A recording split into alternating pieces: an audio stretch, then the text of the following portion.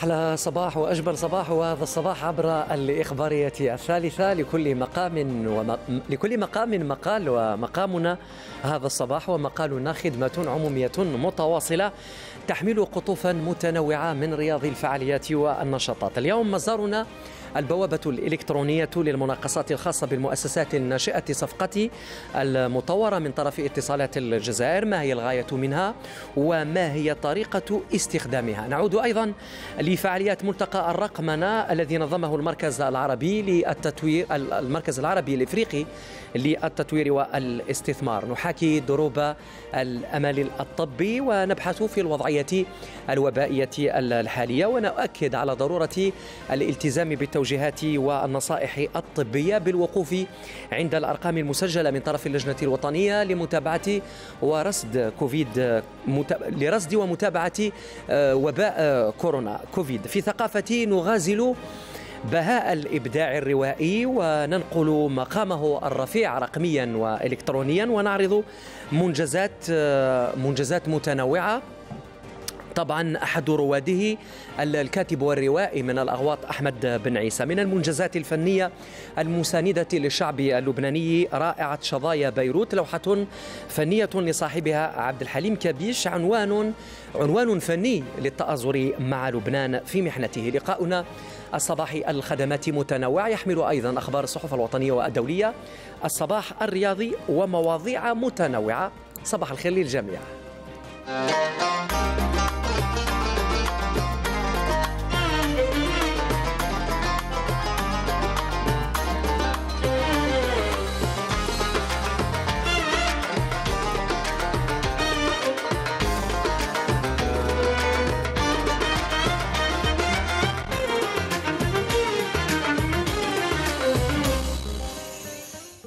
الابتسامة لا تفارق المحيا بلقائكم سيداتي سادتي من خلال هذه النافذة الخدماتية الإخبارية. بعد الفاصل ضيف الصباح.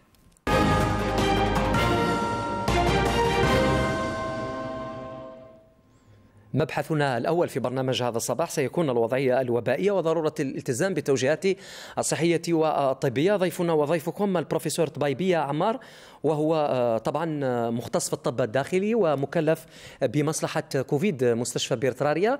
وفي نفس الوقت أنت رئيس الجمعية الجزائرية للطب الداخلي بروفيسور صباح الخير مرحبا. صباح النور تحية لك وتحية للسادة المشاهدين. بروفيسور في البداية اسمح لي أن أنقل إليك تحيات وتقدير المواطنين لجهودكم. أنتم في الصفوف الأولى لمكافحة الوباء بارك الله منذ بروزة في الجزائر. شكرا لك. وإحنا نشكرهم على المؤازرة والتأييد منذ أربعة أشهر ونقول تقريبا خمسة أشهر.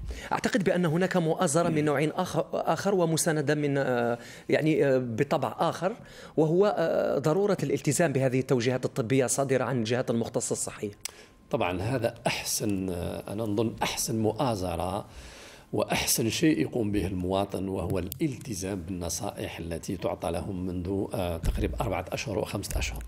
وكما تعلمون أن الفيروس لا زال هنا. الوضعية الحالية تدل بأن الفيروس لا زال هنا ويتحين الفرصة من أجل الانقضاض علينا فكل ما نقصت يعني اليقظة والحذر كلما زاد العدد. وأنتم لاحظتم في كل مرة يكون نقص في, في اليقظة ولا فيجيلونس يزيد العدد. كنا من 200 400 ولحقنا حتى ل 600 ونتمنى إن شاء الله ألا تتعدى الأرقام عدد 600 فبالتالي إذا أرادوا إخوان المواطنين أن ننتهي من هذا الوباء في أقرب وقت ممكن وبأقل الأثمان وهي أقل عدد الموتى هي أن نلتزم بالوسائل البسيطة التي لا التي نحن نكررها كل يوم تقريبا منذ خمسة أشهر وهي التباعد الجسدي وغسل اليدين واستعمال الكمامة خصوصا عند التواجد مع أشخاص آخرين. نعم. بروفيسور ما هي قراءتك لآخر الأرقام التي سجلت؟ ومن بين هذه الأرقام 538 حالة ما هي القراءة ولكن من من جانبي دائما كما ذكرت بدرجة التأهب القصوى التي تبقى مرتفعة يجب أن تكون مرتفعة سواء لدى الأطقم الطبية أو حتى المواطنين. الأرقام على كل حال الآن بالنسبة لي كطبيب يعني هي هي تقلقني ولكنها لا تخيفني كثيرا. تقلقني لأنها نخاف أنها تؤدي إلى ارتفاع أكثر يعني في الأرقام وتخيفني لأنه ممكن في بعض الحالات تكون الحالات الخطرة آه، يعني لا تجد مكان لها في في في, في مصلحة الإنعاش. وهذا هو الشيء المهم. إحنا اللي يخيفنا أكثر ما هو. هو عدد الوفيات. عندما نشوفوا العدد نشوفوا 600 أو 700 أو حتى 1000 ونشوفوا صفر وفاة ما تقلقناش. أما عندما نشوفوا عندنا 400 ولا 500 ونشوفوا كل يوم 10 15 ولا 9 وفيات فهذا يقلقنا ويخيفنا جدا. فيعني نضيع أرواح في كل يوم فهذا شيء خطر كثير. فبالتالي الحل الوحيد لإخواننا المواطنين لازم نقولوها ونعاودوها ونكرروها. ما كانش حل آخر ما عدا الوقاية لحد الساعة لا يوجد دواء ولا يوجد تلقيح لحد الساعة وإنما يوجد فقط علاج يعني مو مو نافع جدا وهو التباعد الجسدي واستعمال الكمامة وغسل اليدين عند الضرورة. نعم. وهذه هي التوجيهات الصحية والطبية التي تعود دائما إلى الوجهة وضرورة توخي الحذر دائما والحيطان بالنظر كما ذكرت لأنه هذه الأرقام يعني تتغير يعني. فل... لا الأرقام هي ممكن. إحنا لاحظناها في بداية رمضان عندما لاحظت يعني آه، تخفيف الحجر الحجر الصحي على المواطنين وكاين الناس اللي راحوا كما نقولوا إحنا يشريوا أمور كثيرة منها قلب منها زلبيه قلب اللوز شري هذه شري هذه وكاين فيه يعني تلاقي كبير بين المواطنين شفنا ارتفاع كبير. ومن بعد عندما المواطنين التزموا يعني في رمضان نقصت الأعداد. في العيد الفطر لاحظنا مباشرة بعد عيد الفطر هناك ارتفاع شديد. بعد رفع الحجر الجزئي آه، في بداية جوان نفس الشيء. وإحنا كنا خايفين من يعني فتره العيد عيد الأضحى لأنه كاين فيه تزاور الناس يمشيوا يزاوروا يزوروا بعضهم ويغافروا حتى رغم التحذيرات يعني إحنا نتمناو إن شاء الله. إحنا درك الآن تبدأ تظهر الأمور. إذا كان فعل إخواننا المواطنين يعني التزموا آه، بالنصائح التي أعطيت لهم منذ أشهر. وأنا أظن انه لاحظنا أنه كثير من المواطنين بدأوا يلتزمون فعلا.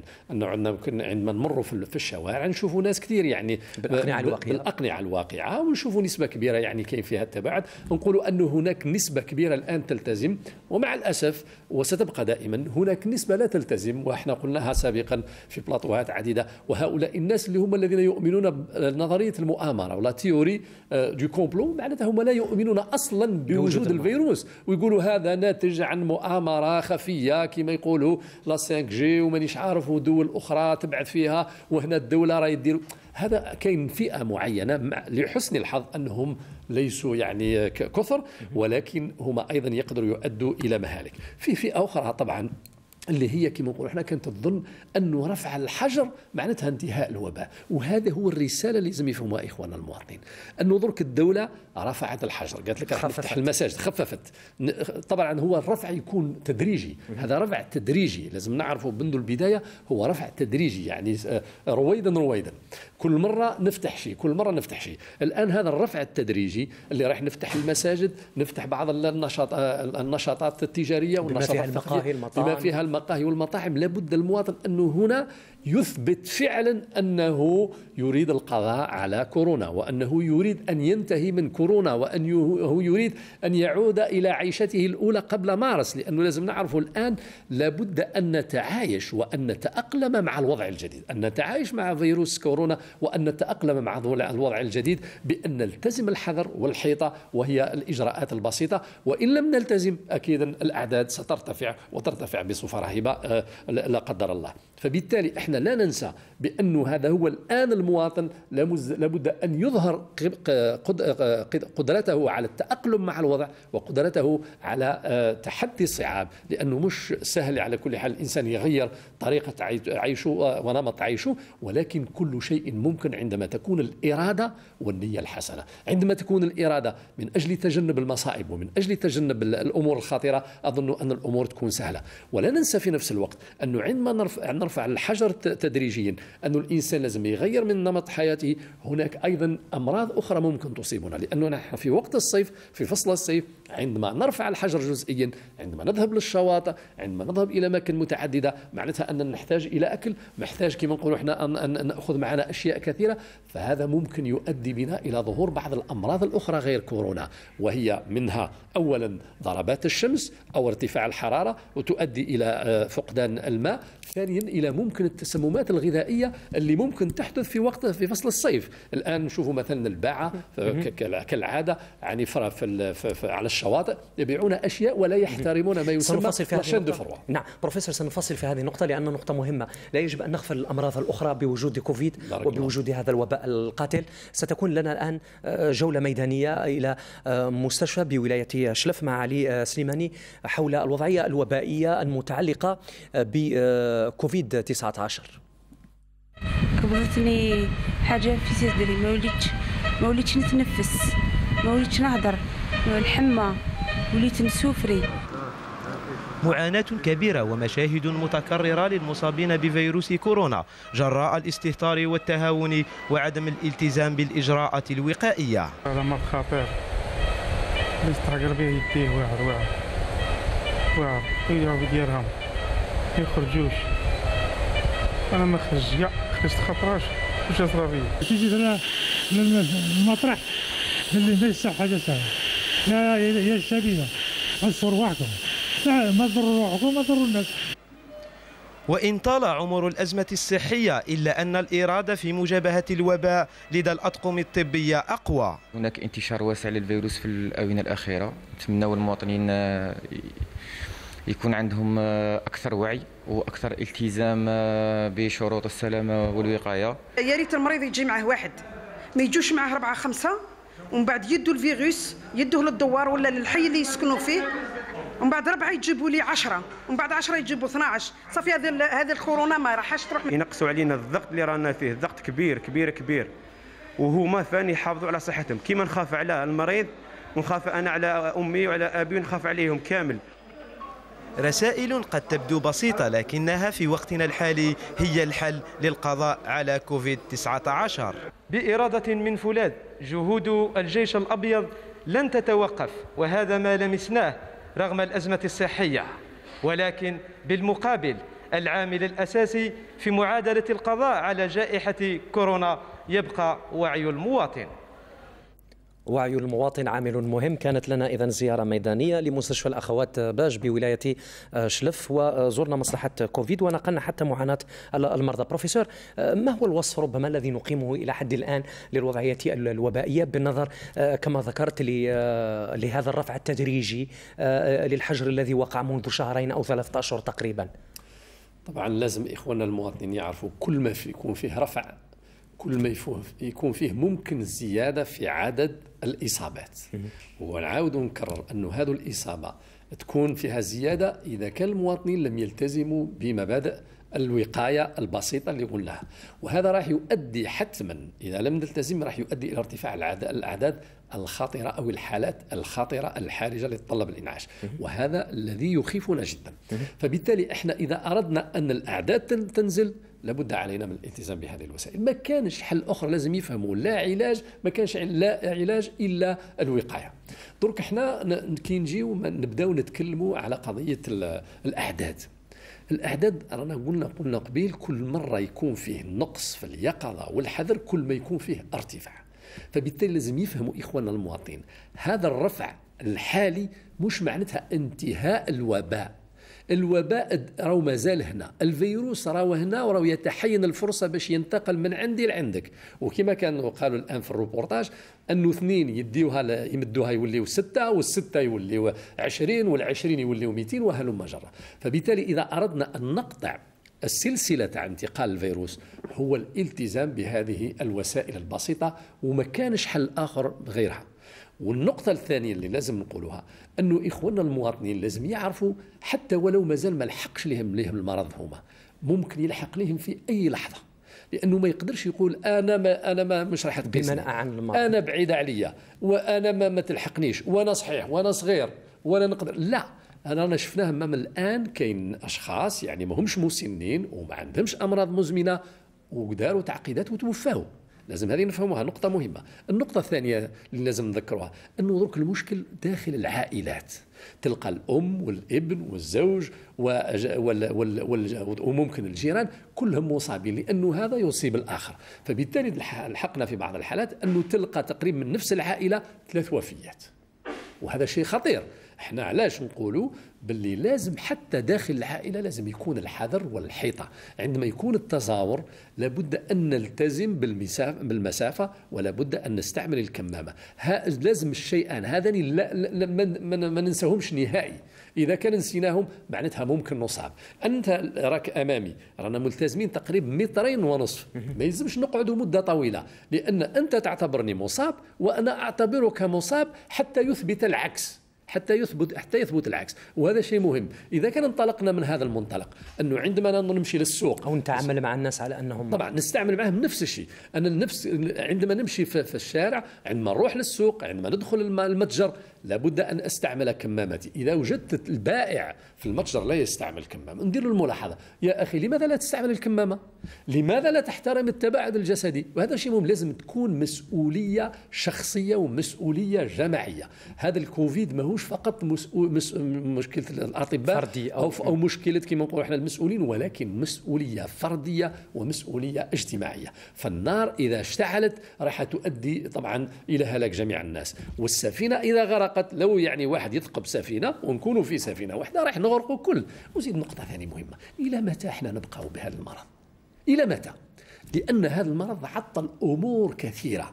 قلنا أزمة صحية أزمة اقتصادية وأزمة اجتماعية. شوفوا عدد الفقر شوفوا عدد كما نقولوا إحنا عدد العاطلين عن العمل. شوف عدد الطلاق. شوف عدد كما نقولوا إحنا لا في العائلة العنف الموجود في, في, في البيوت ولا في, في أماكن أخرى. شوفوا مثلا الحالات النفسية حالات الانهيار العصبي حالات التشرد. يعني أمور كثيرة راهي حدثت بسبب كورونا. إذا أردنا إحنا أن نقضي على هذه الأشياء وأن نحد من منها لابد علينا أن نلتزم بوسائل الوقاية البسيطة. وما هيش حاجة كثيرة نعاودها ونكررها وينبغي أن نكررها. وأشكركم أنتم كوسائل إعلام. يعني أرى أنه منذ فترة لأنكم زدتوا شوية الضغط على في وسائل الإعلام نرى أن النتائج بدأت تتحقق. لأنه الناس كانوا يظنوا ما كانش منه هذا كورونا ماهوش خطير.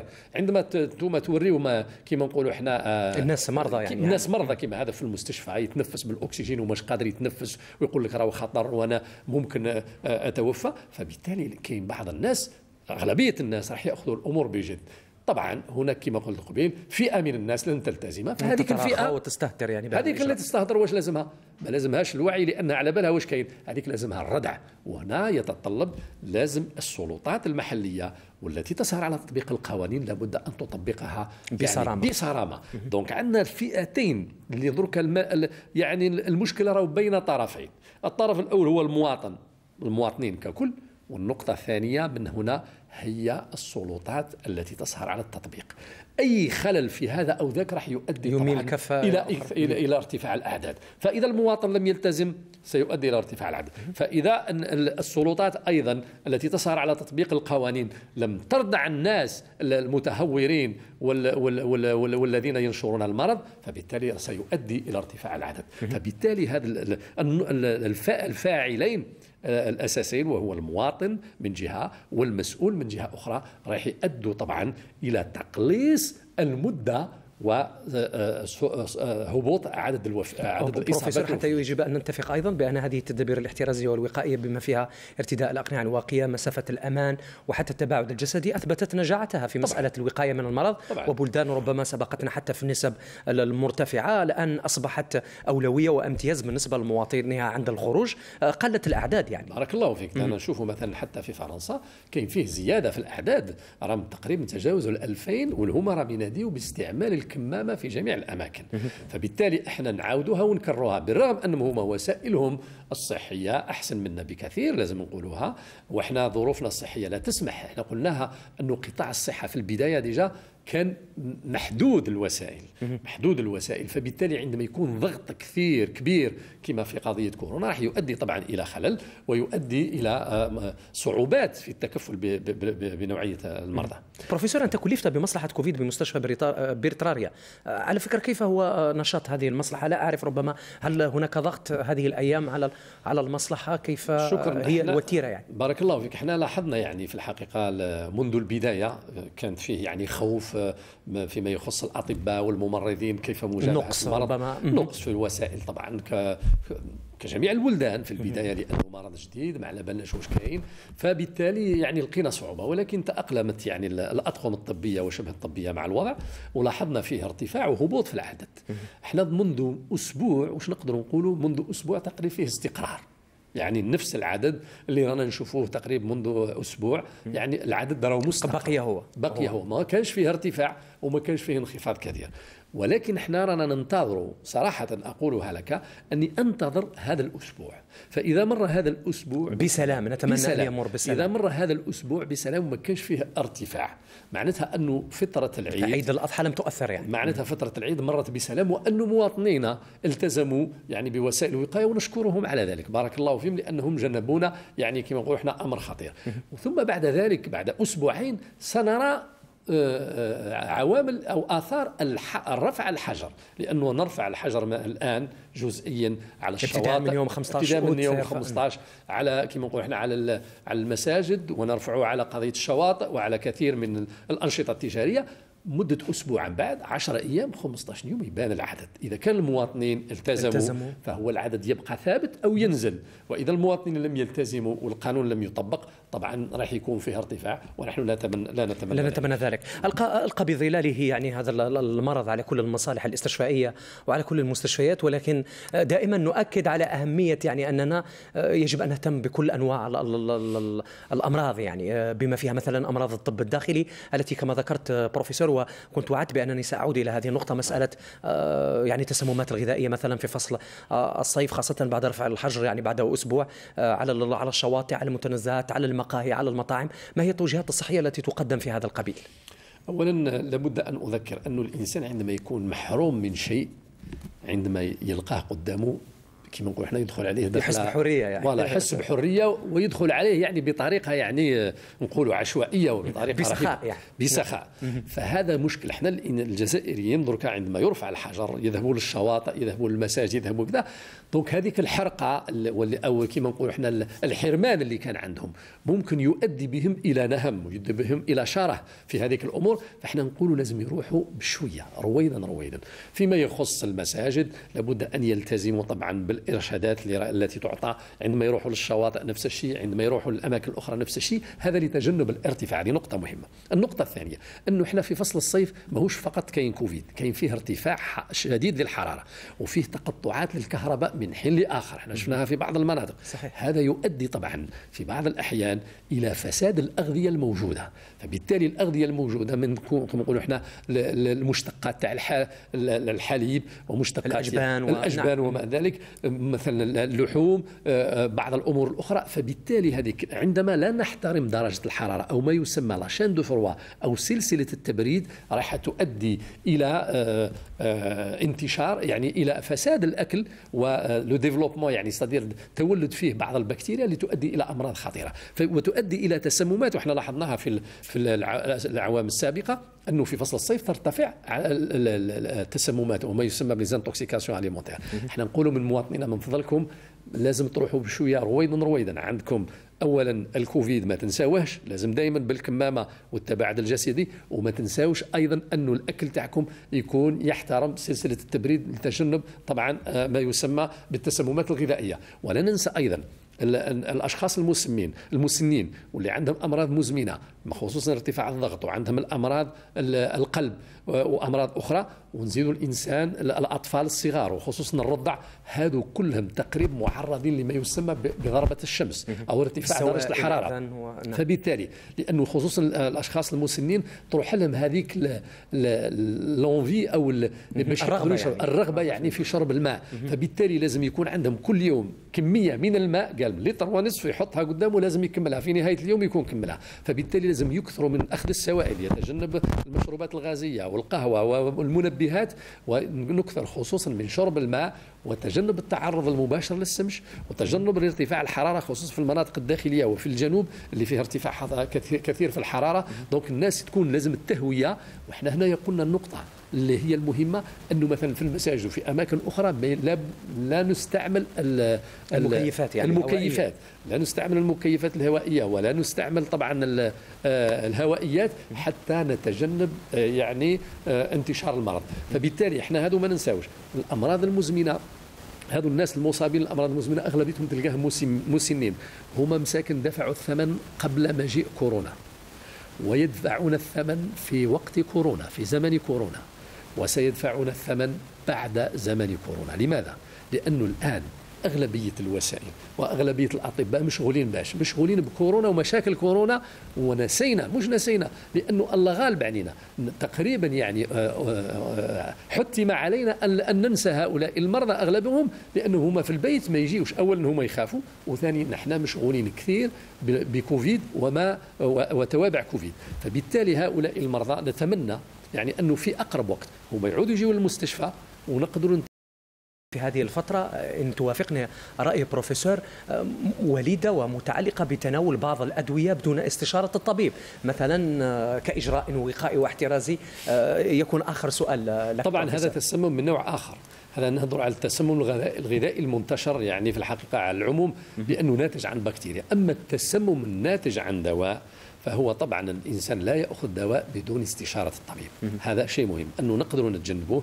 لا نأخذ الدواء إلا باستشارة الطبيب. وإذا ظهر عرض بعد أخذ دواء لابد أن نتصل في أقرب وقت بالطبيب. ومن أجل طبعا استعمال آه، ما يسمى التنظيف يعني باش نخرجوا الدواء في أقرب وقت. بروفيسور شكرا جزيلا لك. أنت مكلف بمصلحة كوفيد بمستشفى بيرتراريا ومختص في الطب الداخلي البروفيسور طبيبيه عمر شكرا جزيلا شكرا لكم. حضرك في برنامج هذا الصباح. التقيناك والتقينا طبعا حتى آه، مع رئيس جمعية جزائرية للطب الداخلي وتهتم بهذا الاختصاص. نهتم بكل شيء. فذكرت في بداية البرنامج بأننا بأن البرنامج يحمل قطوفا متنوعة من رياض الفعاليات والنشاطات. نلتقي بعد هذا الفاصل. التحسيسي. فيروس كورونا لا يزال موجودا.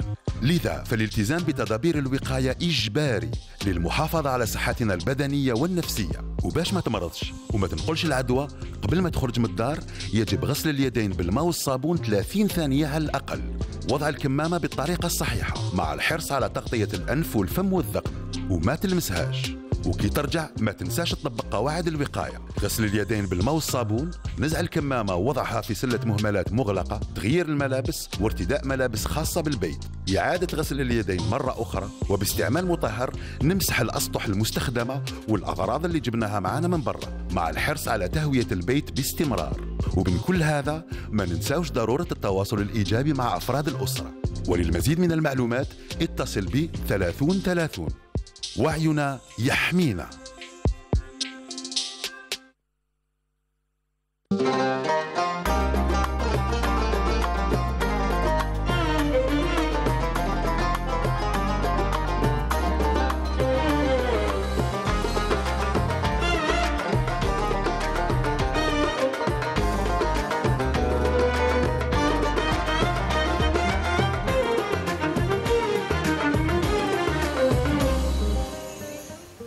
هذه هي الثقافة وهذه هي الهوية التي تحملها حلة قنوات التلفزيون الجزائري بما فيها القناة الإخبارية التي تقدم برنامج هذا الصباح وتقدم فيه العديد من الأنشطة وأيضا العديد من الفعاليات. وجهتنا ومزارنا الآن البوابة الإلكترونية للمناقصات الخاصة بالمؤسسات الناشئة صفقتك بوين زاد المطورة من طرف اتصالات الجزائر. ضيف الصباح بعد الفاصل.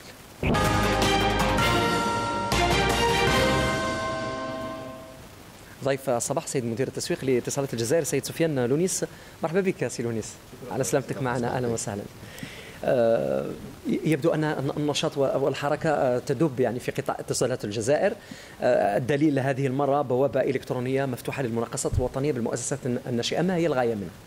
هي هذه البوابة تخص جميع قطاع البريد والمواصلات السلكية واللاسلكية يعني فيه مؤسسة اتصالات الجزائر موبيليس بريد الجزائر الوزارة وزارة البريد والمواصلات السلكية واللاسلكية يعني جميع هذه المؤسسات آه، كل ما هو مناقصات واستشارات موجودة في هذه البوابة. يعني ما هذا ما هي هذه البوابة؟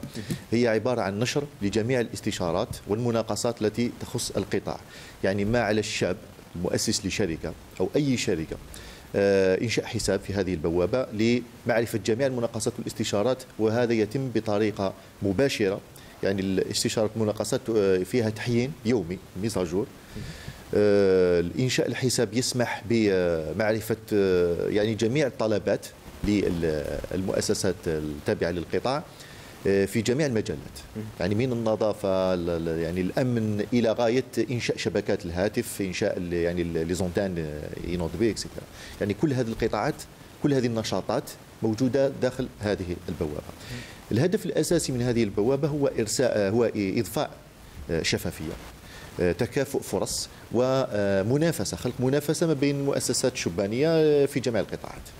كانت موجودة هذه الامتيازات التي تحصلت على المؤسسات الناشئة من قبل من قلب بالنظر ربما آه، لسوق اتصالات الجزائر وحتى حضورها القوي يعني المؤسسة حضورها القوي القوي في مجال الاتصالات؟ هذه كانت خاص خاصية يعني بالنسبة لمؤسسة اتصالات الجزائر ولكن جمع جميع المناقصات وجميع الطلبات في موقع واحد لجميع القطاع هذا سيمكن الشباب من ربح الوقت. الشباب تاعنا اليوم يستعمل تكنولوجيات باش يعرف ما واش موجود آه، كطلبات في السوق الصفقات العمومية. يعني اللي التمكين من الوصول إلى الصفقات العمومية واش كان يدير الشباب قبل يعني يشري جرائد يبحث في الجرائد ما هي يعني المناقصات اللي تخص النشاط تاعو إلى آخره؟ يعني هذا يتطلب وقت كبير وجهد كبير وربما ما يشوفش هذه المناقصات لأنها موجودة في عدة جرائد. الفات يعني يعني كيف وضعناها في بوابة واحدة؟ موحدة شبكة موحدة لجميع قطاع البريد والموصلات يعني هناك مئات الطلبات اللي تخص جميع المجالات هنا يربح الوقت أكيد. يعني أنا مثلا مؤسسة مصغرة في النظافة في ولاية أضرار ندخل البوابة نبحث عن أي مناقصات تخص النظافة في ولاية أضرار ما بين التاريخ الفلاني إلى التاريخ الفلاني. يمكن نغربل بالمؤسسات يعني شوف غير مؤسسة اتصال الجزائر بريد الجزائر موبيليتي إلى آخره. يعني نربح وقت كبير جدا. نضخ هذه الديناميكية بنظر آه، ربما لحجم المناقصات التي آه، بالطبع يعني المناقصات راهي موجودة يعني هناك المئات يعني من المناقصات هذه. بالطبع مؤسسات كبيرة آه، تحتاج إلى عدة يعني شركات تخدم معها. وللوصول إلى غاية الصفقة يعني إبرام الصفقة وانطلاق المشروع هذه البوابة الإلكترونية راح تسمح لنا بربح الوقت. طبعا هذه خطوة أولى. هذه يعني نذكر الشباب أنه هناك خطوة ثانية واللي هي ما نسميه ال e-procurement يعني آه الاقتناء الإلكتروني.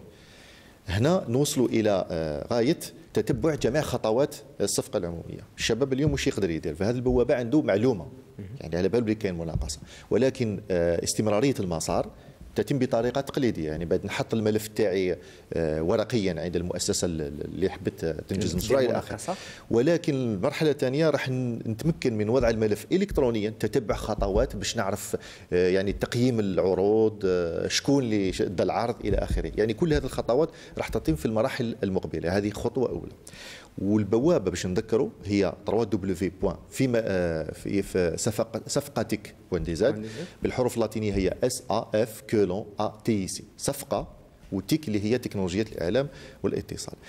وباش يعني نحسنوا من الموقع اللي هو الطبعة الأولى تاعو وضعنا آه يعني فورمولار للتفاعل مع آه استمارة خاصة.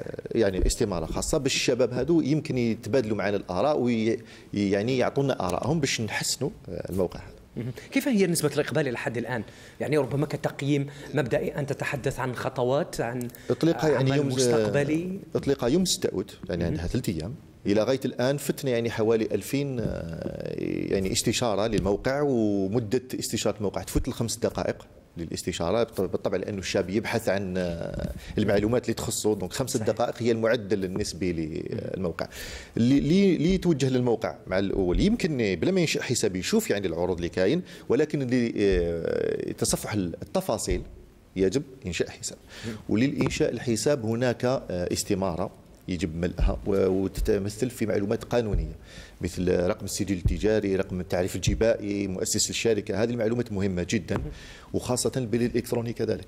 نتعامل بالبريد الإلكتروني باش تكون تعاملات سهلة وأسرع. ألا تفكرون ربما في وضع دليل خاص بهذه المؤسسات الصغيرة طبعا. انطلاقا من هذه الاستمارات؟ الهدف كأنه مسح عام يعني. أحد الأهداف الأساسية من هذا الموقع كذلك هو إنشاء قاعدة بيانات. لأنه إحنا عندنا قاعدة بيانات الوطنية للسجل التجاري إلى آخره ولكن عبر هذه المواقع نتعرف حقيق حقيقة يعني من هي المؤسسات اللي راهي حابة تتعامل مع قطاع البريد والمواصلات السلكية في جميع النشاطات. كثيرة هي المؤسسات التي تتعامل مع هذا القطاع قطاع اتصالات الجزائر في فئة الشباب مؤسسات الناشئه يعني ما لحقناش يعني ما كناش في المستوى المرغوب فيه ولكن عبر هذا البوابة هذه يعني خلاص يعني أي شاب يمكن في أي لحظة يعرف ما, ما هي الحاجيات تاع القطاع العمومي. شيء يعني جميل ويسمح لهم باش يتعاملوا بطريقة فعالة مع المؤسسات. لأنه الآن اهتمام الشباب حتى هو المؤسسات كل ما هو باقتصاد المعرفة كل ما هو آه، بمجال الرقمنة الذكاء الاصطناعي وغيره يعني بعض المصطلحات الآن تعود وتفرض نفسها يعني باسم بالطبع. الواقع وباسم هذا العالم الذي يتحرك يعني بسرعة. بالطبع. يعني حتى يعني تزامنا مع إطلاق هذه البوابة وضعنا في هذه البوابة بنفسها آه، اطلقنا استشارة يعني لجميع الشباب مؤسسات اللي انجزت في ال ANSEJ l'ANGEM ولا يعني هذه الميكانيزمات اللي ينشئوا بها المؤسسات درنا استشارة باش يقدموا لنا عروض. يعني هذه الاستشارة باش نديروا قاعدة بيانات في جميع المجالات التكنولوجيا الرقمية ال intelligence artificielle la big data يعني كل هذه التكنولوجيات العالية يعني الدقيقة درنا عليها استشارة باش نشوفوا الآن شكون الشباب هذو اللي يقدموا لنا عروض. اصبح أصبحنا نوظف على أكبر نطاق على نطاق واسع في اتصالات الجزائر كل ما هو رقمنه كل ما هو تكنولوجيا. هذه يعني دخلت في الأساسية. يعني. يعني دخلت في الأساسيات الآن يعني ما يمكن ما نجمش يعني نتقدم اقتصاديا دون استعمال هذه التكنولوجيات. من نلقاو اليوم مؤسسات شبانية تنشط في هذا المجال باش نتقدموا. يعني هذا شيء أساسي جدا. مسألة تسويقها تسويقها بسهولة أو يحتاج ربما آه، لتقنيات الآن حتى معتمدة عالميا في مجال التسويق آه، لهذه التكنولوجيا؟ يحتاج إلى مادتين أساسية. هو الإنترنت يلزمنا انترنت يا إما الثابت أو المتنقل وال device يعني يا إما موبايل أو ordinateur إلى آخره حاسوب. هذا ما كان يعني آه، يعني, يعني هذه هي المعدات اللي نستحقها باش نستعمل تكنولوجيات نعم. آه، هذه المؤسسات يعني عادة ما آه، كما ذكرت يعني الآن الأولوية الحكومة الآن تمنح الامتياز والأولوية للمؤسسات الصغيرة والمتوسطة من أجل أن أن تضخ ديناميكية جديدة في عالم الاقتصاد الوطني وهذا هو المبتغى يعني وهذه الغاية والهدف الأساسي يعني من خلال العمل مع المؤسسات الناشئة. هذا هو المبتغى يعني خاصة في الظروف الحالية في ظروف الكوفيد والاقتصاد يعني نحتاج لننشط الاقتصاد أكثر. السوق الاقتصاد العمومي والصفقات العمومية هي محرك للاقتصاد الوطني.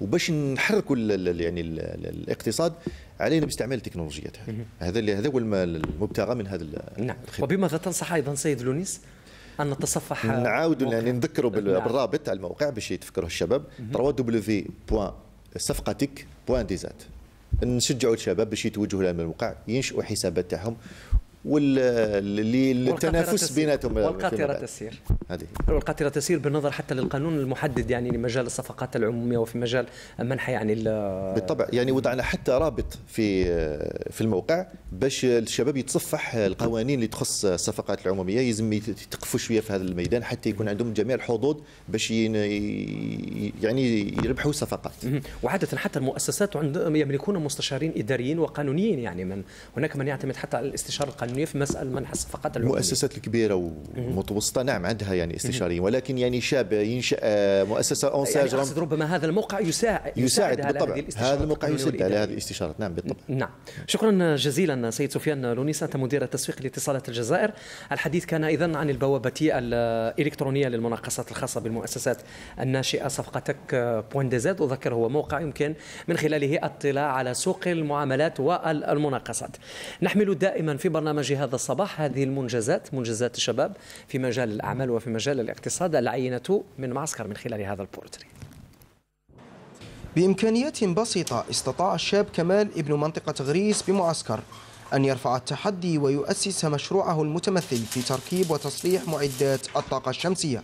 كان عندي تكوين مدة أسبوع وكان الرغم الرغم تاعي باش نطور هذا التكوين تاعي ونكون في الاختصاص تاعي. خدمنا لحد الآن آه، خمس مؤسسات تربوية ومؤسسة مجانا هي مؤسسة دوار مزورات آه، بغريس. كما ثمنت الجهات الوصية ما يقوم به الشاب مؤكدة مرافقتها التامة لهذه المشاريع. ونسعى إحنا كمنتخبين محليين محليين لتدعيم هذه المبادرات الشابة. أصحاب المؤسسات ونتمنى إن شاء الله تكون مبادرات أكثر وإن شاء الله إحنا كبلدية غادي يعني نعموا هذه الطاقة الطاقة الشمسية على مستوى ثلاث مدارس كبرى. من القدام غادي نركزوا ثاني على الفلاحين رغم أن غريس منطقة فلاحية من سهل غريس وأن معظم الفلاحين يشتكون من فاتورة الكهرباء. حنايا كمؤسسة ناشئة. رانا نقوم بدراسات للفلاحين. ويدعو كمال جميع الشباب إلى التحلي بالإرادة وتجسيد المشاريع الرامية إلى النهوض بالتنمية المحلية.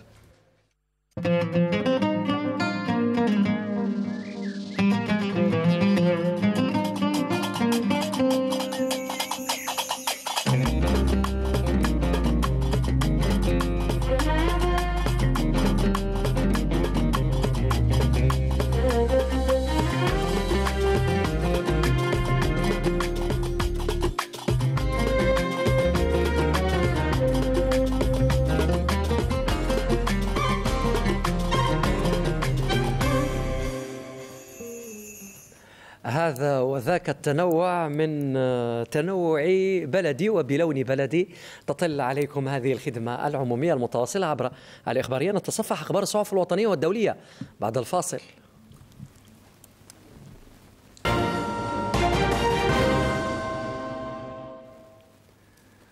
دليلنا في التصفح آه، أو بالأحرى من سننقر طبعا على أخبار الصحف. أسماء صباح الخير مرحبا. أهلا وسهلا. صباح الخير محمد. أهلا بكم مشاهدينا في معرض الصحف لنهار اليوم والذي نبدأه بهذا الخبر. الفصل في الدخول الجامعي وخطة الإنعاش الاقتصادي. عنوان صدر في جريدة الشروق اليومي. جاء فيه يترأس رئيس الجمهورية القائد الأعلى للقوات المسلحة وزير الدفاع الوطني السيد عبد المجيد تبون اليوم الأحد. يترأس الاجتماع الدوري لمجلس الوزراء بتقنية التواصل المرئي وذلك للفصل في ملف الدخول الجامعي بصفة تدريجية.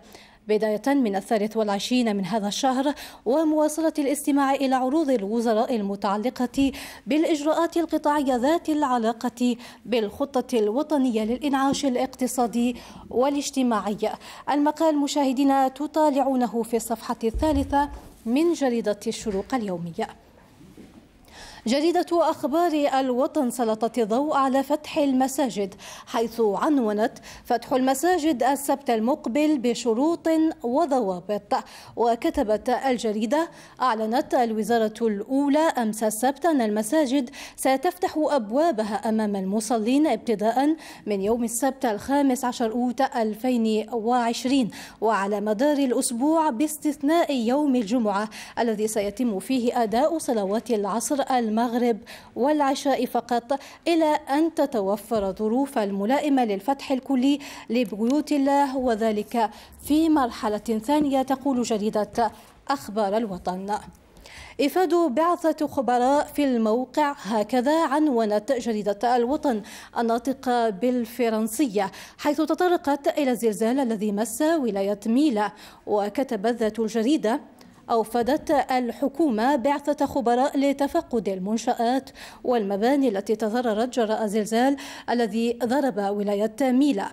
حيث قال وزير السكن والعمران إن ما لا يقل عن 60 مهندسا يعملون حاليا وسيزيد عددهم إلى 80 لاستكمال عمل التقييم في أسرع وقت ممكن. هذا وأفاد التقرير الأولي المقدم خلال اجتماع الوفد الوزاري تصنيف ثلاثة أو 93 بناية ضمن الخانة الحمراء. وزير السكن قال أيضا إنه سيتم التكفل ب 184 عائلة متضررة من الزلزال في غضون 20 يوما. إلى جريدة المجاهد الناطقة بالفرنسية والتي عنونت بعثة خاصة إلى لبنان. وجاء في المقال بناء على تعليمات رئيس الجمهورية السيد عبد المجيد تبون تم إرسال مفرزة خاصة إلى لبنان إثر الانفجار الذي هز العاصمة بيروت. وتتكون المفرزة التي يرأسها نائب مدير المساعدة الطبية في المديرية العامة للحماية المدنية من 34 عضوا أو 34 عضوا من بينهم 14 طبيبا متخصصا في طب الكوارث خمسة مسعفين و15 عضوا من فريق المجموعة الاستشارية الدولية للبحث والإنقاذ مجهزة بمعدات حديثة مثل الكاميرات الحرارية والكلاب البوليسية للبحث عن الضحايا تحت الأنقاض لا سيما بعد إحصاء أكثر من 60 في عداد المفقودين. جريدة الخبر تطرقت إلى أزمة السيولة في مكاتب البريد حيث عنونت تسقيف عمليات سحب النقود في حدود 100 ألف دينار.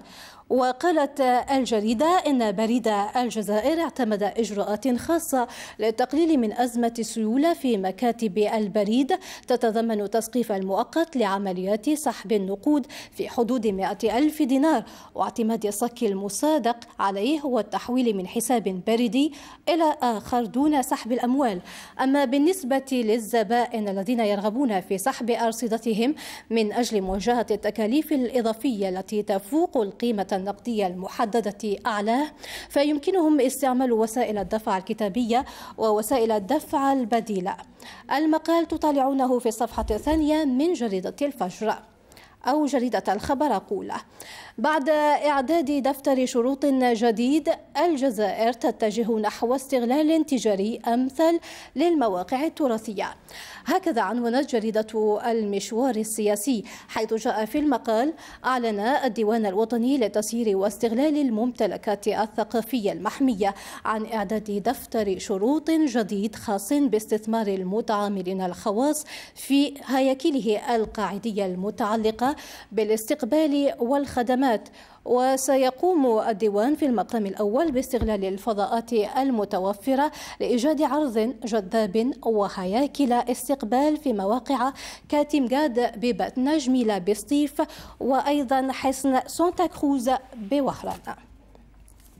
إلى أخبار الصحف الدولية الآن والتي نبدأها بجريدة ذا جارديان الإنجليزية حيث سلطت الضوء على حادثة تحطم طائرة هندية لدى هبوطها وكتبت الجريدة إن المصالح المختصة انتشلت صناديق سوداء من موقع تحطم الطائرة في ولاية كيرالا والذي أسفر عن مقتل 18 شخصا على الأقل من بينهم الطيارين وإصابة 123 مسافرا آخر من بينهم 15 في حالة حرجة.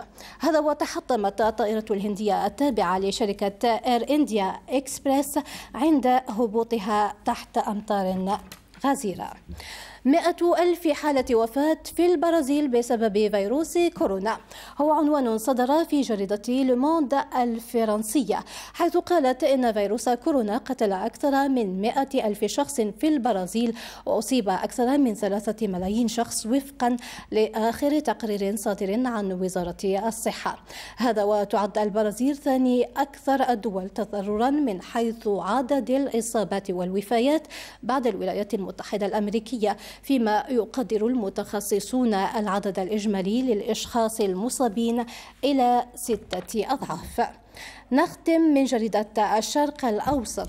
فصائل سوريا مقاتلة ترسل تعزيزات إلى جنوب إدلب.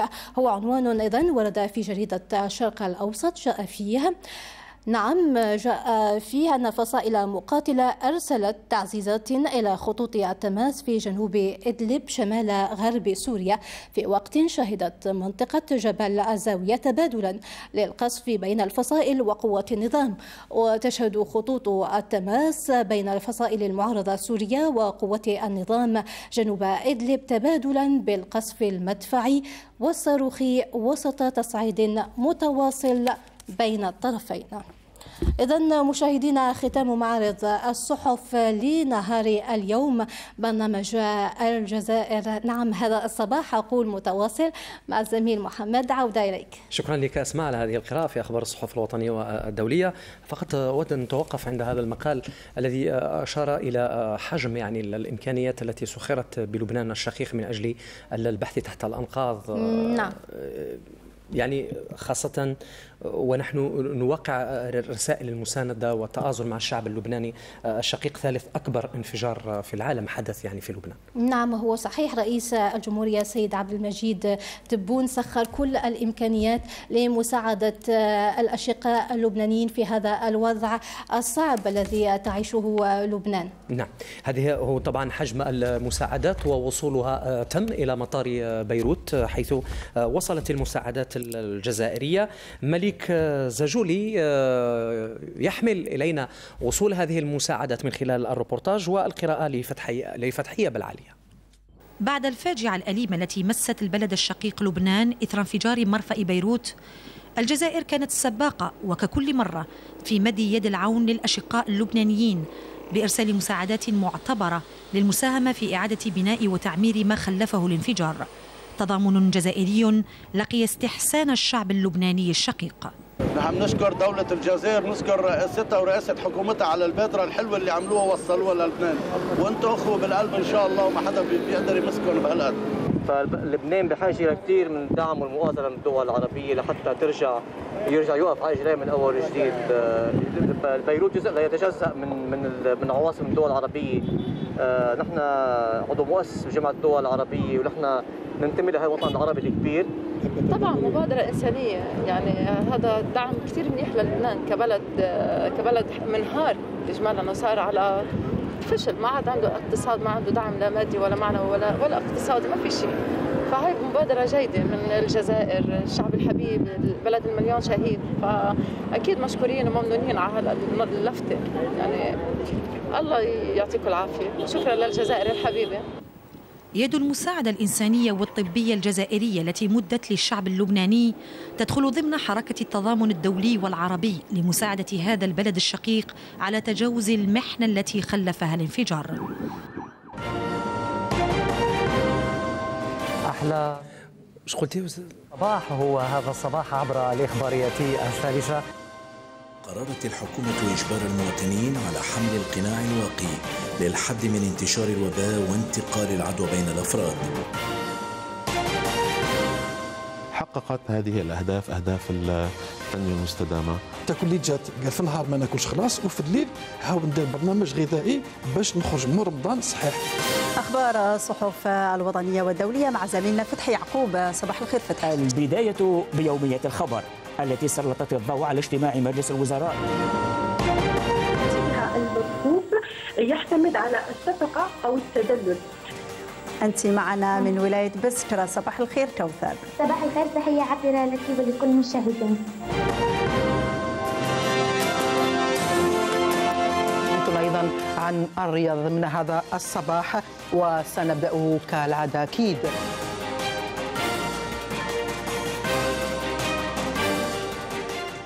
بلغة الخطاب حتى الإنسان الجزائر دائما حاضرة وسبق من خلال إيصال هذه المساعدات إلى إلى الشعب اللبناني الشقيق آه، مؤازرة ومساندة له آه، في محنته. نتواصل عبر فقرات وأركان برنامج هذا الصباح. سنتحدث الآن عن الملتقى العربي الإفريقي للاستثمار بعنوان التحول الرقمي ما بعد كورونا. بعد الفاصل ضيف الصباح.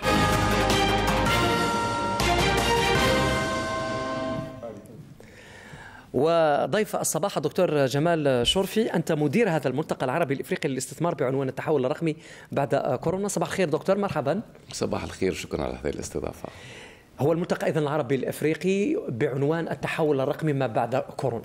حقيقة الأمر لأنه تشرفت باداره هذا هذا الملتقى والذي شرفتني به إدارة المركز العربي الإفريقي للاستثمار والتطوير. حقيقة كان هناك تحدي كبير جدا هذه النسخة السادسة التي أبى القائمون على هذا المركز بفروعه في القارات في إفريقيا وفي الوطن العربي بأن يكون افتراضيا ويكون في الجزائر.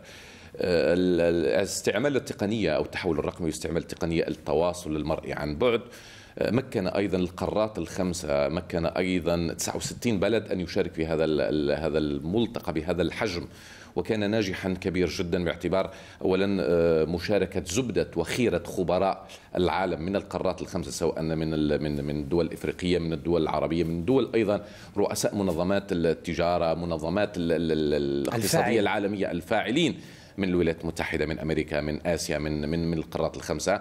والكل شغوف حقيقة لما يت لما نتكلم على إفريقيا لما نتكلم أيضا على العالم العربي على إفريقيا الكل الآن وجه أو وجهت آه، راداراته نحو هذه القارة العذراء. إفريقيا بأرقامها عبارة عن 30 30% من احتياطات العالم من كل الثروات موجودة الآن في في إفريقيا، إفريقيا هي القارة العذراء، إفريقيا هي المستقبل، الدليل على ذلك بأنه الآن من يقود الاقتصاد العالمي الآن وهي الصين بامتياز كبير جدا هي الآن تتجه للاستثمار في إفريقيا، يعني الآن آه، هي القاعدة الاقتصادية الثانية. بالنسبة إليها. هناك أيضا توجه أيضا بالنسبة أي حتى إلى البلدان الإفريقية على سبيل المثال للحصر مثلا. الآن إثيوبيا التي كان ينظر إليها أيضا بأنه ذلك بلد المجاعة الآن أصبحت من أول البلدان في الع... الأكبر بلد في العالم الآن منتج للزهور يعني اللي كانت هولندا فيما سبق. الآن انتقال القاعدة الصناعية للكثير من الدول سواء أو من حتى من المنظمات ذات مثل الاتحاد الأوروبي. الآن التوجه نحو إفريقيا الداخلية. الآن إفريقيا تغيرت أو تغيرت النظرة إلى إلى هذا إلى هذا البلد. أيضا أردنا من خلال هذا الملتقى. الجزائر عبارة عن بلد كبير جدا وهي الآن هي قاطرة آه، أولا هي أكبر بلد بلد, بلد إفريقيا الآن بإمكانياتها الجزائر أيضا لديها إمكانيات ضخمة جدا. كما تعلم بأنه أيضا كل الفاعلين آه، لفت انتباههم أيضا حتى البرنامج الاقتصادي بالنسبة إلى أعلى التي أعلنت عليه الحكومة الجزائرية وعن عليه الرئيس الجزائري بأنه يرتكز ثالوث التجديد الاقتصادي يرتكز على الثلاث عناصر وهو تحقيق الأمن الغذائي. آه، ثانيا الانتقال الطاقوي أو التحول الطاقوي باعتبار تحول إلى من الطاقات الطاقات الطاقات القديمة إلى الطاقات المتجددة والجزائر تزخر بهذه الإمكانيات رقم ثلاثة وهو التحول الرقمي والاقتصاد الرقمي.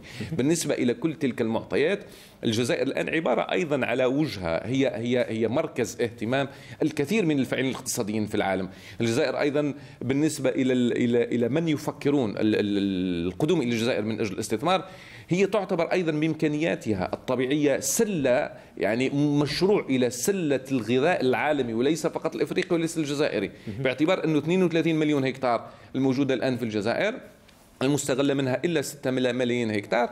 الجزائر احتياطات المياه الحلوة الموجودة في الجزائر في الصحراء الجزائرية 50 ألف مليار متر مكعب أي ثالث احتياطي للماء الحلو فوق الكرة الأرضية بعد المحيط المتجمد الشمالي وبين بعد نهر الأمازون. هذا الأمر الذي يؤهلها إلى أن تكون حقيقة. ليس فقط نحقق أمنا الغذائي الجزائر يستطيع أن تصنع فقط من الغذاء. إذا تحولنا إلى تلك شركات كبرى تدعم جدا الاقتصاد الوطني. دكتور, أس...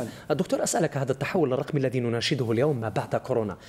لم يكن موجودا قبل كورونا. يبدو أن كورونا ألقى بظلالها على الاقتصاد على عالم الاجتماع على كل شيء يعني. أنا أقول بأنه ما كورونا رب ضرة نافعة. نعم. كورونا ما مصائب قوم عند قوم فوائد كما بطبيعة الحال يعني كورونا كورونا كورونا أرغمت الناس التحول إلى الرقمنة الآن الاجتماعات حتى ما يعقد الاجتماعات الحكومة واجتماعات الوزراء واجتماعات كل العالم الآن عن طريق التواصل عن الآن هي حفزت هي هي هي نوعا ما قصرت لنا الطريق. هي التحول الرقمي أصبح الآن واجبا.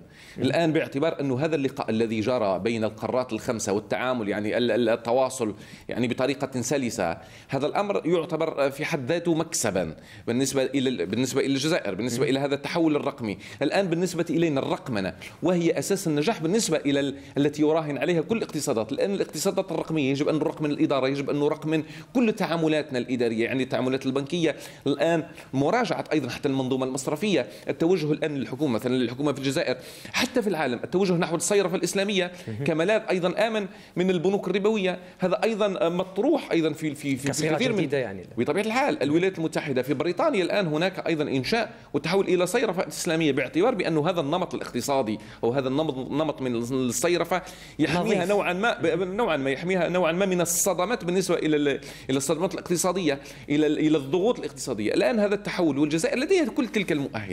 الآن نريد أن نسقط مخرجات هذا اللقاء الذي من خلاله التحول أيضا التركيز على الصناعات التحويلية والجزائر. وكان هذا أيضا ضمن البرامج أو ضمن برنامج الحكومة الصناعات التحويلية. نحن أيضا افريقيا تصدر يعني المواد الخام لكن تستوردها مصنعة. الآن الجزائر آه، عبارة عن أيضا فسيفساء عبارة عن قارة أيضا من ناحية الثروات الطبيعية. الآن التركيز على الصناعات التحويلية كملاذ آمن للخروج من الريع النفطي.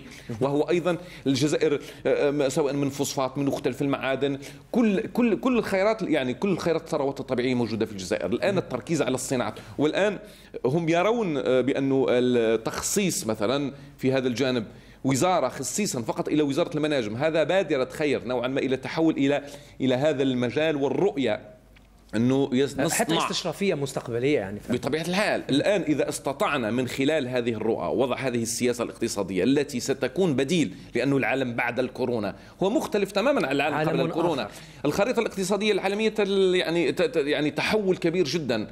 الآن هناك ليس الولايات المتحدة من تكون قاطرة الاقتصاد العالمي الآن الصين بامتياز كبير جدا خصوصا بعد التعافي من من جائحة الكورونا. الآن التعايش مع هذه الكورونا لأنه الكورونا ليس فقط يجب أن لا تحجمنا على العمل أو تحجرنا عن العمل. بطبيعة الحال أو تحجر علينا العمل. الان نستطيع أن نتعايش مع هذه الكورونا ونستطيع ان ان ان, أن نرجع إلى العمل يعني. بطبيعة الحال ونرجع أيضا للعمل أسأل أسألك سيد شرفي ما هي المقاربة التي أتى بها هذا الملتقى؟ هذا الملتقى العربي الإفريقي للاستثمار بعنوان آه، كما ذكرنا التحول الرقمي بعد الكورونا. ال ال ما هي المقاربة التي المقاربة أنا أقول أنا أقول المقاربة التي أريد من بلدي أن يستفيد منها يعني الجزائر. الآن آه، إفريقيا هي أولى بالإفريقيين يعني إفريقيا هي أولى بأهلها. يعني أهل الدار أولى بدارهم. الآن الجزائر أولى بإفريقيا. حجم التجارة البينية في إفريقيا وإن كان بالحجم يقدر تقريبا بأكثر من تريليون دولار. يعني إفريقيا لا تتاجر فيما بينها. 16% من هذا الحجم فقط. تجارة داخلية بينية وأكثر من 900 مليار دولار يعني 950 مليار دولار هي تجارة هي تستوردها افريقيا إفريقيا تستهلك تصدر المادة الخام لكن تستوردها مصنعة. الآن لكي لا نذهب ننافس نمور آسيا لكي لا نذهب ننافس أيضا الاتحاد الأوروبي ونحن الآن. الآن إفريقيا تستطيع الجزائر أن يكون لها امتدادا داخليا وهذا دور ما يسمى بالدبلوماسية الاقتصادية. الآن الجزائر يجب أن تعزز يعني من دور الدبلوماسية للجزائر. حتى في فيما تم الاتفاق عليه مؤخرا منذ سنة وهو خلق ما يسمى بالسوق الإفريقية الحرة أو المنطقة الاقتصادية الحرة الإفريقية اللي أيضا الجزائر أمضت على هذا الاتفاق. هذه الاتفاقية التي ستمكن الدول الإفريقية فيما بينها ضمن هذه الامتيازات بطبيعة الحال الآن الناشط الذي يملك قاعدة اقتصادية يملك بنى تحتية ونحن نملك البنى التحتية. يعني الجزائر لديها نوعا ما امتياز وسبق على الكثير من الدول الإفريقية. إذا أردنا أن ندخل للسوق الإفريقية كمتعاملين اقتصاديين حقيقيين الآن من خلال خلال تطوير أيضا المرافقة بالنسبة إلى كل ما ما أعيده دائما المنظومة المصرفية البنكية. نتمنى أن الجزائر مستقبلا أن البنوك الجزائرية أيضا يكون لديها فروع في كل إفريقيا.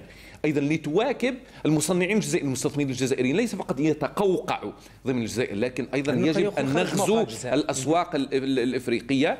والجزائر لديها كل تلك الإمكانيات. فلهذا أقول بأنه لدينا لدينا ما يسمى le FNI le Fonds national d'investissement أو الصندوق الوطني الاستثمار الذي أيضا من واجباته مرافقه المستثمرين الجزائريين الذهاب إلى الأسواق الخارجية. وهذه أيضا من ضمن السياسات التي يجب أن تنتهج مستقبلا من أجل أن يكون لنا مكان في إفريقيا. نعم. أسألك دكتور الآن عن الذين حضروا في فعاليه هذا الملتقى. آه، كوادر يشهد لها آه، بالعطاء السخي في المجال الاقتصادي وفي مجال الاستثمار سواء كان العربي أو الافريقي الكوادر آه، خيره خيره وزبده خبراء العالم. يعني من المنظمات المنظمة العالميه للتجارة المنظمة المنظمة العربية للسياحة حتى من الجامعة العربية.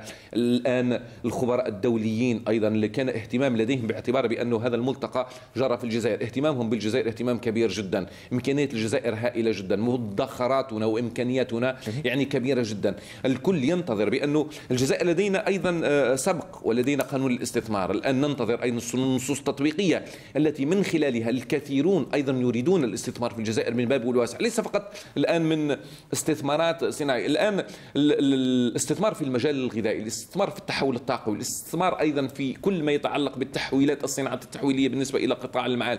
الاستثمار أيضا في السياحة كصناعة لما تملكه الجزائر أيضا من إمكانيات كبيرة جدا وهي قارة. الآن المناخ المناخ بشتى أنواعه. الآن بين بين شمال بين جنوب بين تلال. كل الآن السياحة الصحراوية السياحة التراثية السياحة الصحية السياحة الساحلية. السياحة حتى الصحية حتى الينابيع الحارة الان في الجزائر تزخر السياحة الحموية كمان السياحة الحموية أو ما أسميها أنا أيضا حتى بالسياحة نوعا ما صحية. كل تلك الإمكانيات التي من خلالها قالوا أو اتفق كل المتتبعين كل الخبراء بأن الجزائر القارة الإفريقية عموما ستكون الملاذ القادم أو القاطرة الاقتصادية للاقتصاد العالمي بعد الكورونا من ضمن التحول الرقمي. لكن أيضا تصنيفا لهذه البلدان وضعوا الجزائر أيضا آه، كبلد قاطرة لهذا لهذا لهذا التحول أو لتلك الوجهة. باعتبارها أيضا ذات إمكانيات عذراء في الكثير من المجالات الاقتصادية التي تستطيع أن تصنع الجزائر الفارق الكبير جدا وتكون قاطرة حقيقية ليست فقط كسلة غذاء لإفريقيا بل للعالم. أيضا للتحول الطاقوي باعتبار بانه إمكانياتها الطاقوية والتحول إلى الطاقات الشمسية من خلال مشروع ديزرتيك. الذي سيجعل الجزائر دائما في الواجهة وقاطره يعني في المراتب الأولى أيضا من خلال تصدير وإنتاج الطاقة الشمسية والتحول إلى الطاقة الشمسية. أيضا الجزائر بديلة وصديقة للبلد. بطبيعة الحال الجزائر من خلال كل تلك المعطيات التي تجعل الجزائر وجهة تستطيع الجزائر أن تستغني على هذا الريع النفطي. وجهة نعم وجهه للعديد من البلدان. كيف هي الوجهة بالنسبة لهذا الملتقى من العديد من البلدان؟ الدليل أن العديد من البلدان شاركت في فعالية هذا الملتقى بطبيعه كل البلدان العربية وحتى القارات الخمس يعني كل, كل البلدان العربية شاركت. نعم. يعني الصين شاركت بامتياز. تركيا أيضا بالنسبة للاتحاد الأوروبي. سويسرا أيضا. يعني فرنسا. يعني من كل البلدان الولايات المتحدة. كندا. يعني الآن حتى من من من نمور آسيا. يعني من ماليزيا. الآن الكل ينظر. إفريقيا بامتياز. كل البلدان الإفريقية. حتى جنوب إفريقيا. يعني من اثيوبيا شاركوا من رواندا أيضا.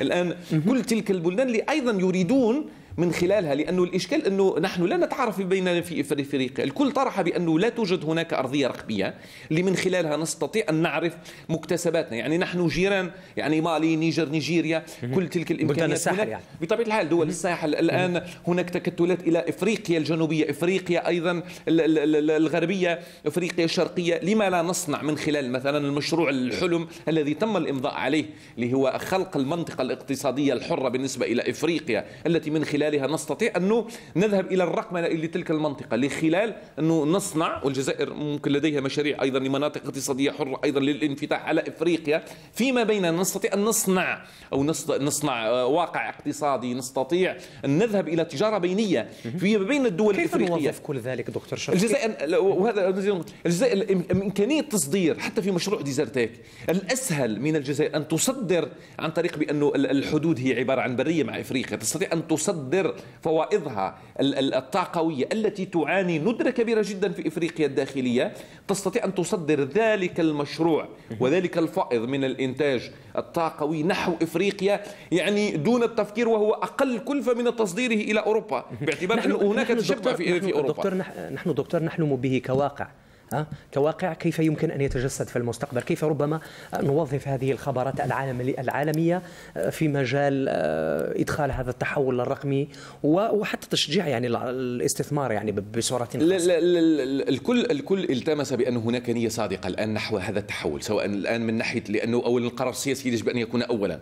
القرار السياسي هناك صدق وهناك تحول يعني هناك نية صادقة لأنه الآن هناك تحرير للأسواق. الآن الفاعلين الحقيقيين سواء كان في القطاع الخاص والقطاع العام يعني خصوصا القطاع الخاص الذي هو سيكون الرهان القادم. الآن الكرة في ملعب المستثمرين سواء كانوا الخواص الامتياز بالنسبة إلى المحليين المستثمرين سواء كانوا وطنيين جزائريين أو الأفارقة فيما بينهم. الآن الكل نادى بالالتقاء بتأسيس أرضية رقمية التي تؤسس الآن التي من خلالها ستجمع كل المستثمرين الأفارقة والعرب من خلال كل في مجال تخصصاته في بإمكانياته المادية بإمكانياته أيضا المالية التي من خلالها ستجسد اتفاقيات قبل نهاية هذه السنة. الكل يرى يعني بتفاؤل كبير جدا. الآن آه، يترقب لأنه هم ممكن الكثير منهم متخوفون يعني ممكن في قارات أخرى. لكن نحن نقول دائما هذه هذه الربه النافعة أو هذه الضارة النافعة اللي هي الكورونا. اللي جعلتنا أيضا آه، نلتفت نوعا ما إلى إلى إلى جيراننا نلتفت, نوعا ما إلى إلى إلى, إلى هذه القارة. نلتفت أيضا إلى مدخراتنا لأنه فيما سبق كنا دولة يعني كنا كنا كل نعتمد على هذا يعني نعتمد على كل ما هو لكن نستورد فقط. الآن هذه الجائحة جعلتنا اولا نقتصد نوعا ما. نقتصد نتقشف نوعا ما ننظر رؤية نوعا ما استشرافية استراتيجية أيضا على الأقل نحافظ على مدخراتنا من العملة الصعبة. نستطيع أن نخلق القيم الاقتصادية الإضافية. هذه يعني من بين هذه أهم التوصيات التي بطبيعة الحال التوصيات تمخضت عن هذا الملتقى التوصيات كانت تمخضت بالق يعني حسب القطاعات. التحقيق الأمن الغذائي خصوصا بأنه هناك دول تزخر وستكون قاطرة من ضمنها هذا الجزائر بضمن. وفقا للمساحات التي تزخر بها وفقا إلى إمكانياتها المائية لأنه المورد المائي الجوفي بالنسبة للجزائر يعني أعطاها الصدارة العالمية. زيادة على ذلك التحول الطاقوي الجزائر بهذه الصحراء الكبرى تضعها هي هي القاطرة في إفريقيا وفي العالم من خلال المشروع الضخم بشهادة كل المنظمات العالمية وبشهادة كل الخبراء العالميين. زيادة على ذلك الجزائر يجب أن تركز أيضا على ما يسمى ما أسميته أنا القطاع الثالث وهو القطاع الخدماتي القطاع السياحي أيضا. كنافذة أيضا من روافد النمو باعتبار أن الجزائر الآن يجب أن تتحول إلى هذه الصناعة السياحية وليست السياحة التقليدية باعتبارها هذه القارة التي تزخر بكل بكل بكل أنواع المناخ بكل, بكل هو جميل حتى بطبيعة الحال نعم. نستطيع من خلال والجزائر تنفق أيضا على على سبيل المثال الحصر يعني سياحيا نحن بلدنا يعني جارتنا يعني جارتنا تونس فقط الجزائريين نعم. يصرفوا مليار دولار صحيح. سنويا إلا في تونس في الصيف يعني لو هذاك المليار يعني لو أنفقنا نصفه لكي لا نحجم أيضا لكي لا نحجم الجزائريين إنهم يسافروا الخارج لو انصف يعني أنفقنا نصفه كل سنة ستكون لدينا قاعدة صناعية سياحية. هذا الأمر الذي سيدفع يعني للتطوير لتطوير هذا القطاع ويكون أيضا رافده اقتصادية يعني مدرا للثروه مدرا للمال. نحن نحتاج إلى هذا المال يعني من هذه كل تلك بطبيعة الحال كل تلك المعطيات تجعلنا دائما نتفائل. بأن الجزائر مستقبل واعد. الجزائر يجب أن, نعزز دبلوماسيتنا الاقتصادية. يجب أن نعزز مكانتنا أيضا الاقتصادية داخل إفريقيا. إفريقيا بحاجة إلينا. يجب أن نرجع إلى إفريقيا. يعني الآن تعاون جنوب جنوب. شمال جنوب آه، لا تستطيع كان في وقت سبق ربما ولكن كان لا لا بميل الكف يعني لكي نقولها بصراحة نقولها بصراحة. كان ينتصر بطبيعه يعني نقولها بصراحة. لا نقولها بصراحة. يعني لا تستطيع أن تنافس واحد آه، يعني سبقك في التكنولوجيا ب ب ب يعني بمسافات يعني بمسافات كبيرة نعم. جدا. لكن إفريقيا بحاجة إلينا في الكثير من المحطات في الكثير من القطاعات. نستطيع أن ننمي نترك يدنا ممدودة إلى كل دول العالم من خلال نقل تكنولوجيا نقل إلى معرفة نقل إلى علم. نستطيع أن ننهض يعني. بطبيعة الحال نستطيع نعم. أن ننهض والكل أيضا ركز أيضا وهو التوصية الأخيرة اللي آه، من خلالها أنا أيضا رفعت ودافعت بأن التنمية البشرية أو الاستثمار في المورد البشري مهم. كناقل للمعرفة. الآن كل دول الكثير من دول العالم صدرت ما يسمى باقتصاد المعرفة. سنغافورة اللي اللي يعرفها ذلك بلد البعوض ل 740 كيلومتر مربع أصبحت من ضمن أكبر الاقتصادات في العالم. فقط آه، لا يوجد لديها مورد رزق ولا يوجد لديها ثروة إلا ثروة أنه اقتصاد المعرفة تحولت في ظرف قياسي في أقل من ثلث عقود إلى من ضمن آه، أقوى الاقتصادات في العالم. فلهذا أقول بأنه الأمثلة التي يحتذى بها لدينا المادة الخام لدينا الإرادة الآن لو سواء كانت إرادة سياسية سواء كانت إرادة أيضا موجودة لدى الآن لدى لدى, لدى, لدى الشارع لما نقول أنا لدى الشارع لدى المستثمرين الجزائريين التحول نحو حقيقة استثمار حقيقي على أسس حقيقية. وعلى أسس متينة. أيضا آه، نقطة أخيرة اقولها لك لأنه الرئيس الجمهورية أيضا قال في وقت من الأوقات قال بأنه العدو الذي يجب أن نقضي عليه إذا أردنا النهوض وهي البيروقراطية الإدارية. صحيح. الآن حلحله الإدارة. هذيك كل شيء لزمته استغلال كل شيء لزمته شهادة شهادة شه... هذا الأمر يجب أن نحلحل هذه البيروقراطية ونجعل الفعل الاقتصادي هو فعل سلس يعني بسهولة نستطيع يمكن حتى أن نستغله ونوظفه يعني في بالطبع نعم. الذهاب إلى الرقمنه سيقضي على البيروقراطية. سيقضي على نصف البيروقراطية بعد ذلك ال ال ال ال إنه نستعين بالكفاءة الجزائرية الجامعات الشباب. هذا الأمر سيسهل لنا وسيعطينا صورة وسيعطينا أمل وسيعبد لنا الطريق نحو النهوض حقيقة بالاقتصاد الجزائري شكرا. ضمن الجزائر إفريقيا. شكرا جزيلا. أنت عبدت لنا الطريق يعني لفعالية هذا الملتقى العربي الإفريقي آه، للاستثمار بعنوان التحول الرقمي بعد آه، كورونا. دكتور دكتور جمال الشرفي شكرا جزيلا لك. أنت مدير الملتقى ونذكر بأن هذا الملتقى نظم من طرف المركز العربي الإفريقي للتطوير والاستثمار حمل لقاؤنا مع الدكتور الشرفي أهم التوصيات التي والمخرجات التي خرج بها هذا الملتقى. ممكن إذا أن ننهض. ممكن للجزائر أن تكون آه، حضنا دافئا لهذا الاستثمار الاقتصادي وبعنوان التحول الرقمي الذي نشهده. نتوقف عند هذا الفصل التحسيسي والتوعوي ونعود لنواصل معكم. لا de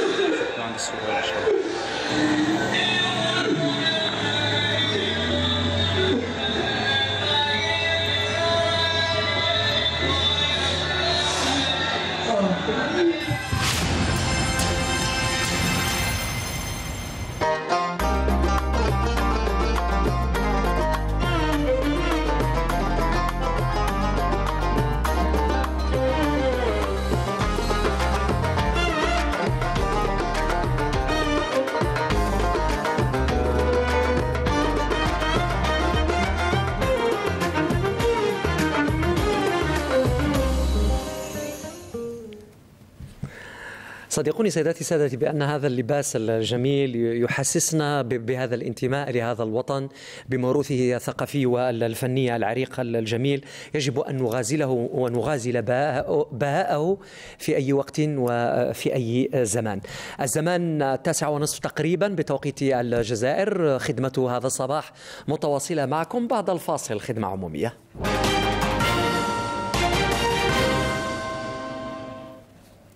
المقام الآن هو للحديث عن العلاقات الأسرية وتأثرها بفضل آه، بتأثير جائحة كورونا ومنظور آه، الحجر المنزلي الذي فرضه هذا الوباء العالمي على الأسر والعائلات.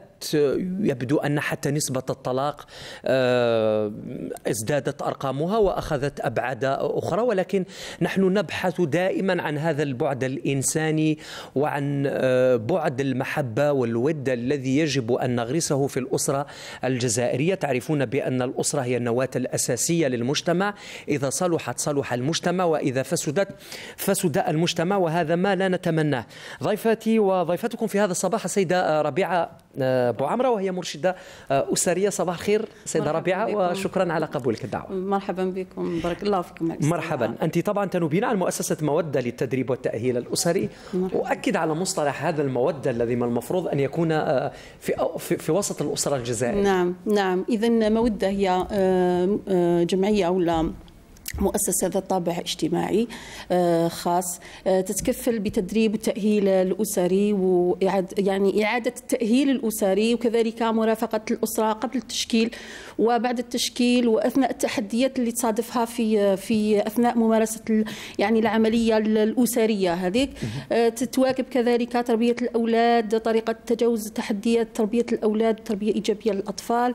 كذلك المشاكل الأسرية طلاق وكفما وكذلك تهتم أكثر بتكوين المرشدين الأسريين. يعني يعني إدخال كل هذا الفئات المجتمع آه، من أجل ولا آه، دي التخصصات الموجودة في المجتمع من أجل آه، يعني حماية هذه الأسرة اللي هي النواة النواة الأساسية للمجتمع, للمجتما نعم. بتأثير كورونا وبلغة الخطاب الآني والحالي يبدو أن حتى هذا الرباط المقدس اللي هو الزواج تأثر تاثيرا بكورونا وحتى تربية الأولاد ومجال تربية الأولاد. نعم نعم. يعني كورونا كاين الكثير من الأسر تعرت. وكثير الكثير من الأسر اللي عاودت انسجمت.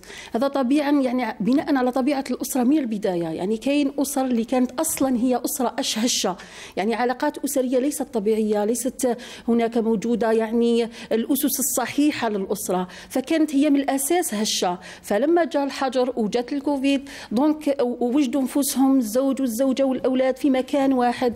وجدت يعني تغير نمط الحياة تاعهم فراح تأثرت. يعني تأثرت الأسرة بهذا بهذا الكوفيد ولا بهذا الحجر وكاين اللي أسر أصلا خرج عليها لأنه هي أصلا يعني عندها نسبة من الاستقرار فبالتالي لقوها فرصة أنه يعاودوا يجتمعوا الأولاد الأب والأم يعاودوا يجتمعوا مع مع الأهل يعاودوا يجدوا طاقة الأسرة اللي هي أسرة اللي كانت قبل ما كانتش تلتقي ربما كانت الأم تخدم الأب يخدم والأولاد يقراوا في المدرسة فبالتالي لقوها فرصة أنهم يعني يعاودوا يجتمعوا من دار جديد ولا العائله كأب وأم وأولاد يتلاقاو يتغداو كيف كيف يتعشاو كيف كيف يعني عندهم نمط تغير نمط الحياة بالنسبة لهم.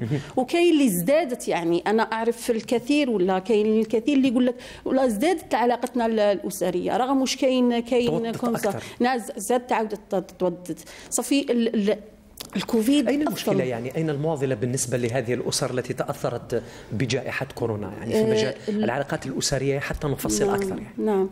يعني قلت لك هي من البداية أصلا هي العلاقة هشة من الأصل. لا توجد هناك مثلا حوار مثلا لا يوجد هناك مسؤوليات بين لا يوجد هناك تربية بين. من الأساس لما تشكلت الأسرة تشكلت على أسس خاطئة يعني وما تفعلتش يعني. جات كورونا وكأنها تعرات يعني. هذه الأسرة تعرات ولا اصبح كل شيء مكشوف. وظيفة الأب مكشوفة وظيفة الأم مكشوفة الأولاد لقوا روحتيهم يعني آه، ما على بالهمش وش يديروا وش يديروا. وما كانش كاين برنامج أصلا ما كانش كاين برنامج ولا كل واحد لا تيب الآخر.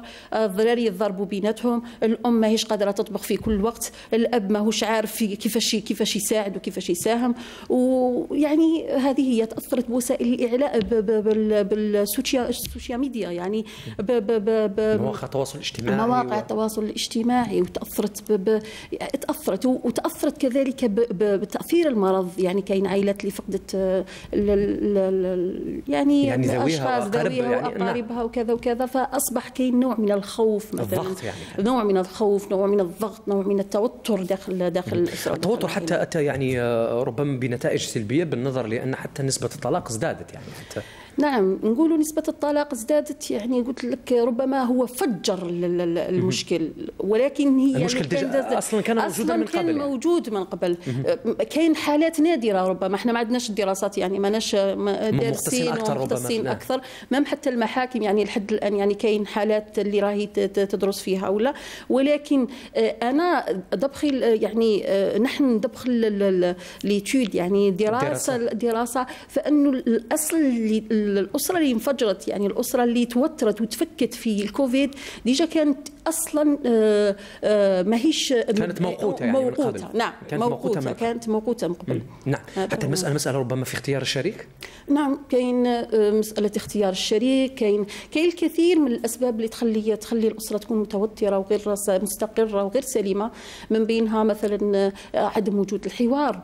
أصلا في البداية كامل الاختيار اللي كان ماهوش سليم وأساس يعني وكذلك قبل قبل قبل البرمجه لكل واحد من الأزواج. كاين برمجه للزوج برمجه للزوجه ولا المرأة والرجل.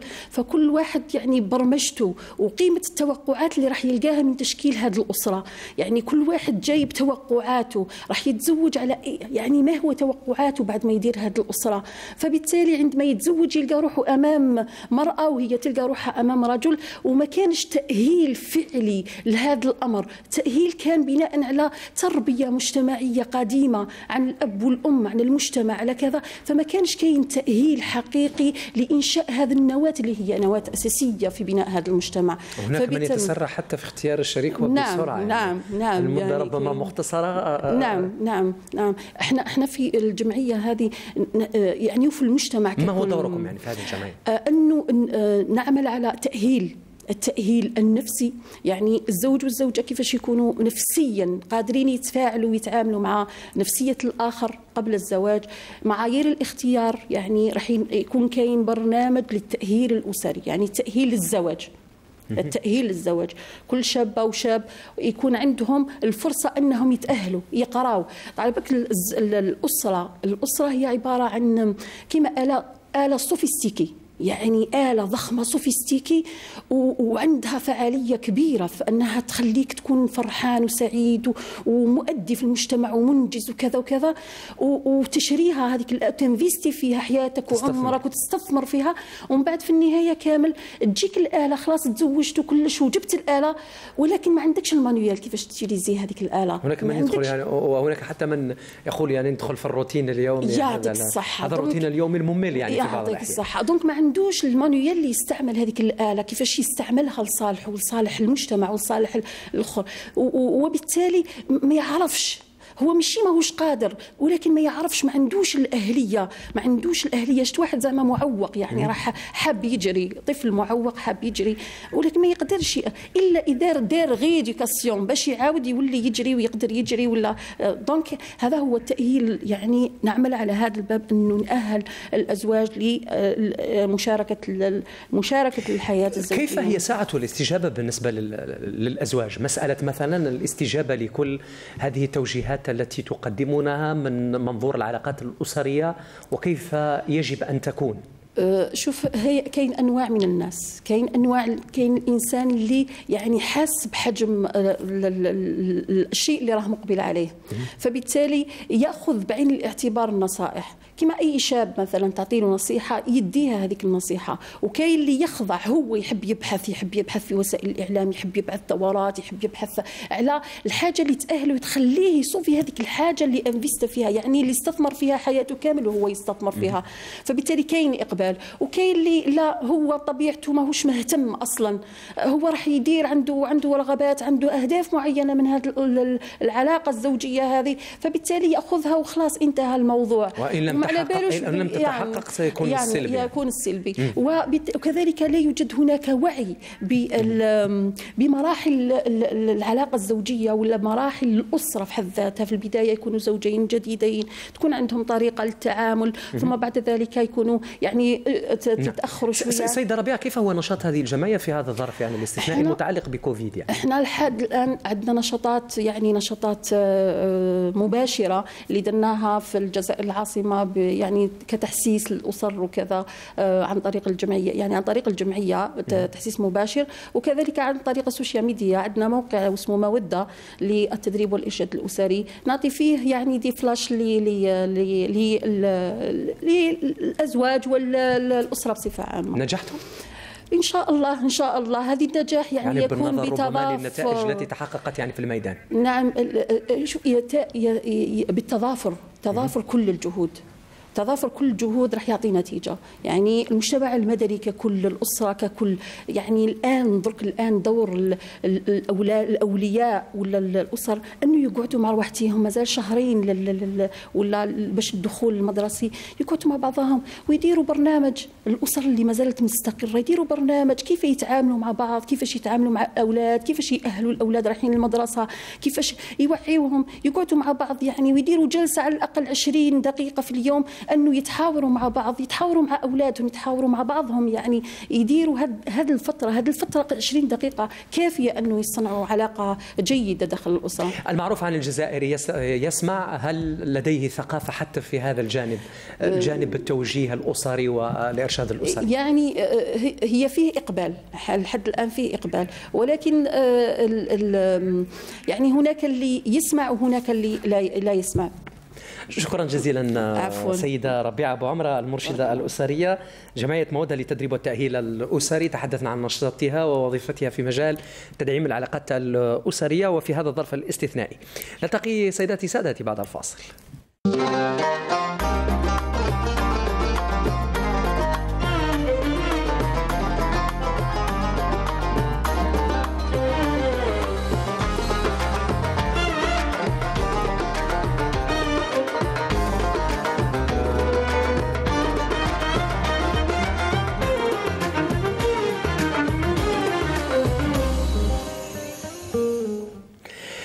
ندخل الآن إلى عالم الثقافة من المنجزات الفنية المساندة للشعب اللبناني رائعة شظايا بيروت لوحة فنية لصاحبها عبد الحليم كبيش عنوان فني للتآزر مع لبنان في محنته أه نأخذ فاصل تقبل.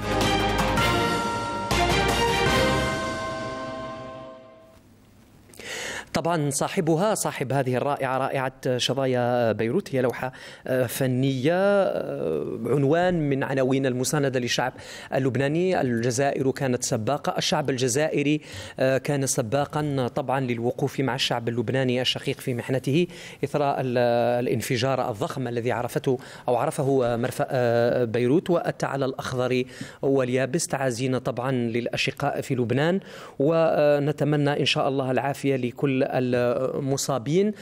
قلت حتى مواقع التواصل الاجتماعي مواقع التواصل الاجتماعي دوت بهذا العنوان عنوان التضامن ومحبة الشعب اللبناني. المبدعون كذلك سجلوا حضورهم بالعديد من الإبداعات. نعم اللوحة إذا كما آه، نشاهدها. هذه آه، رائعة الفنان التشكيلي عبد الحليم آه، كبيش تعذر طبعا حضورها تعذر حضوره معنا في برنامج هذا الصباح. لكن من المفروض يحضر معنا للحديث عن هذا الإبداع الفني الذي حاك تعبيريا مأساة لبنان. وفيما سبق أو فيما سبق كان قدم لوحات فنية جميلة تضامنا مع الأطقم الطبية كما تظهره هذه اللوحات البهية الجميلة وبأسلوبه التعبيري المعروف وجمال الألوان المبدع. إذا الفنان الجزائري دائما يسجل حضوره في المحن. ونذكر بأن عبد الحليم كبيش تحصل على العديد من الجوائز الوطنية والدولية والعالمية نظير ما ينجزه في مجال الفن التشكيلي. نبقى دائما في الثقافة لا أعرف إذا كان ممكن أن نتصل بعبد الحليم كبيش الفنان لا.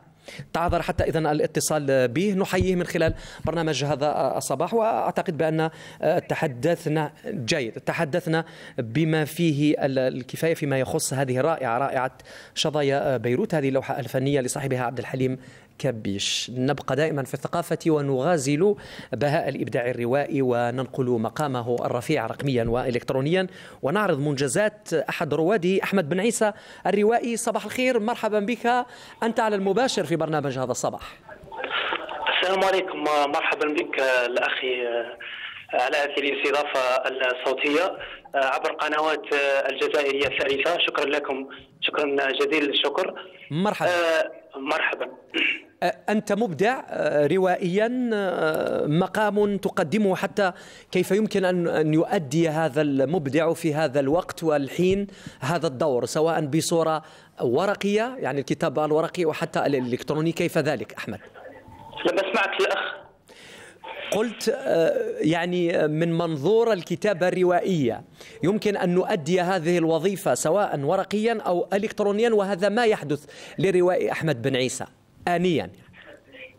أكيد أكيد أخي كما كما نعلم أنه أنه مجال الكتابة.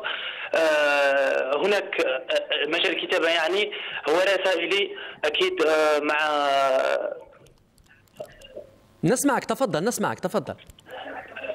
قلت انه أنه مجال الكتابة آه، تتجسد فيه آه، أنواع رسائلية. هناك من أكيد أنا أنا أكتب على كعنوان آه، كعنوان كتابي هذا بداية ظلام أكتب عن عن شخص عن شاب جزائري بصفة عامة.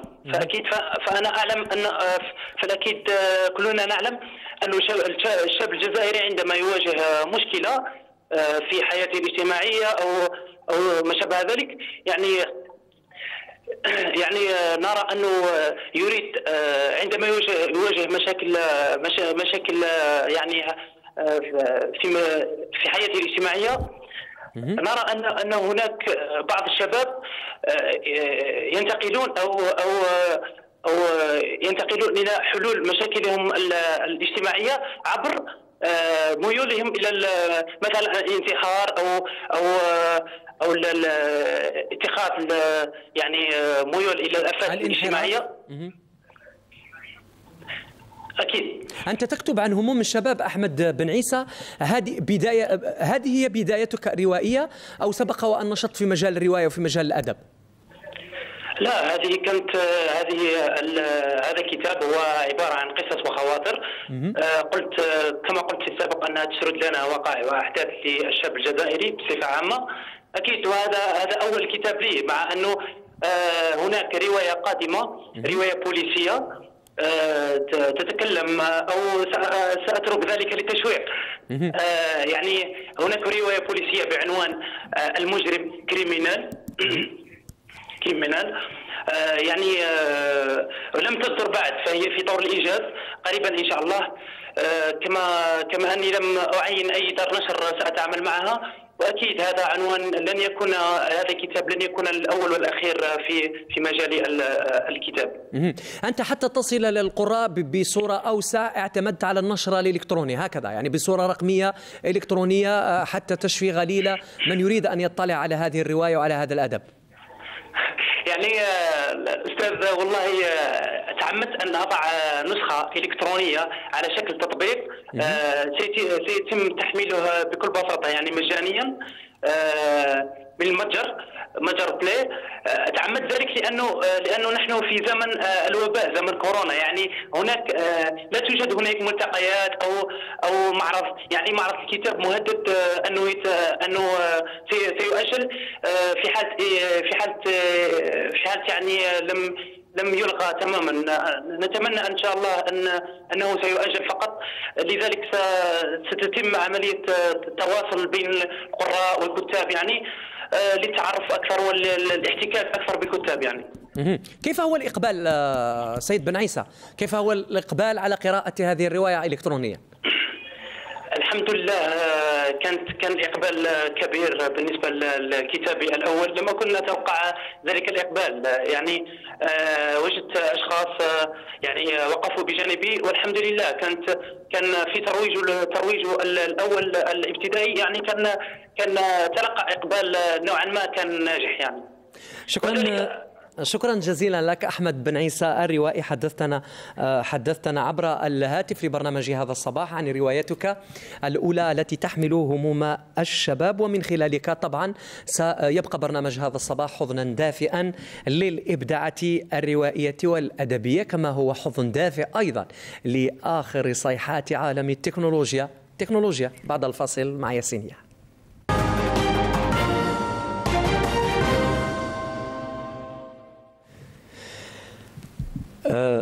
عدت إلي يا مهدي وأنا طبعا بدوري سأقدم موضوع ياسينيا. ياسينيا أدق التقنيات التكنولوجيا الحديثة. زمن السرعة والأرقام. ما كان مستحيل في الماضي أصبح حقيقة فقط بكبسة زر. الحاضر مدهش والمستقبل أكثر إثارة. كله بفضل اختراعات وابتكارات جعلت العالم أكثر تطورا.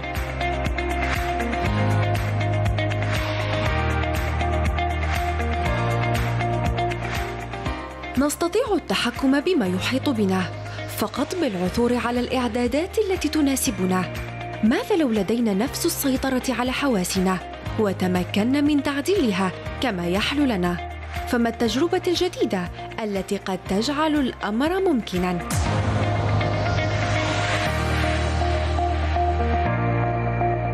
طلبة بجامعة لندن قاموا باختراع أداة لتعزيز الحواس البشرية تحت اسم مشروع آيدوس ماسك. ابتكار ينقسم إلى جزئين. الجزء الأول يتمثل في غطاء للعين. حيث تمت مقارنة المكون المرئي لآيدوس بتأثيرات التصوير الفوتوغرافي طويل المدى. يحتوي هذا الأخير على كاميرا مثبتة على الرأس تقوم بالتقاط وتسجيل فيديوهات على جهاز الكمبيوتر. بعد ذلك يتم معالجة بيانات الفيديو عن طريق رصد حركات وذبذبات لا يمكن رؤيتها بالعين المجردة. ليتم عرضها بصورة نهائية في النظارات. أما الجزء الثاني فيتمثل في قناع يتم وضعه على كل أذن يلتف حول النصف السفلي من الوجه بما في ذلك الفم والأنف. لنجد في هذا الجزء ميكروفون اتجاهي مدمج لالتقاط صوت معين. يشغل هذا الصوت من خلال برامج تقلل ضوضاء الخلفية وتعزل وتعزز الصوت المستهدف.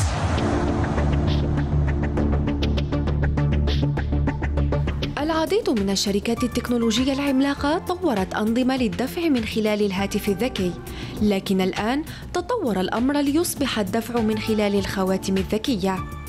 لن تخاف بعد اليوم سرقة أو فقدان حافظة نقودك أثناء ذهابك للشاطئ، قيامك بجولة في الدراجة أو حتى شراء كأس قهوة.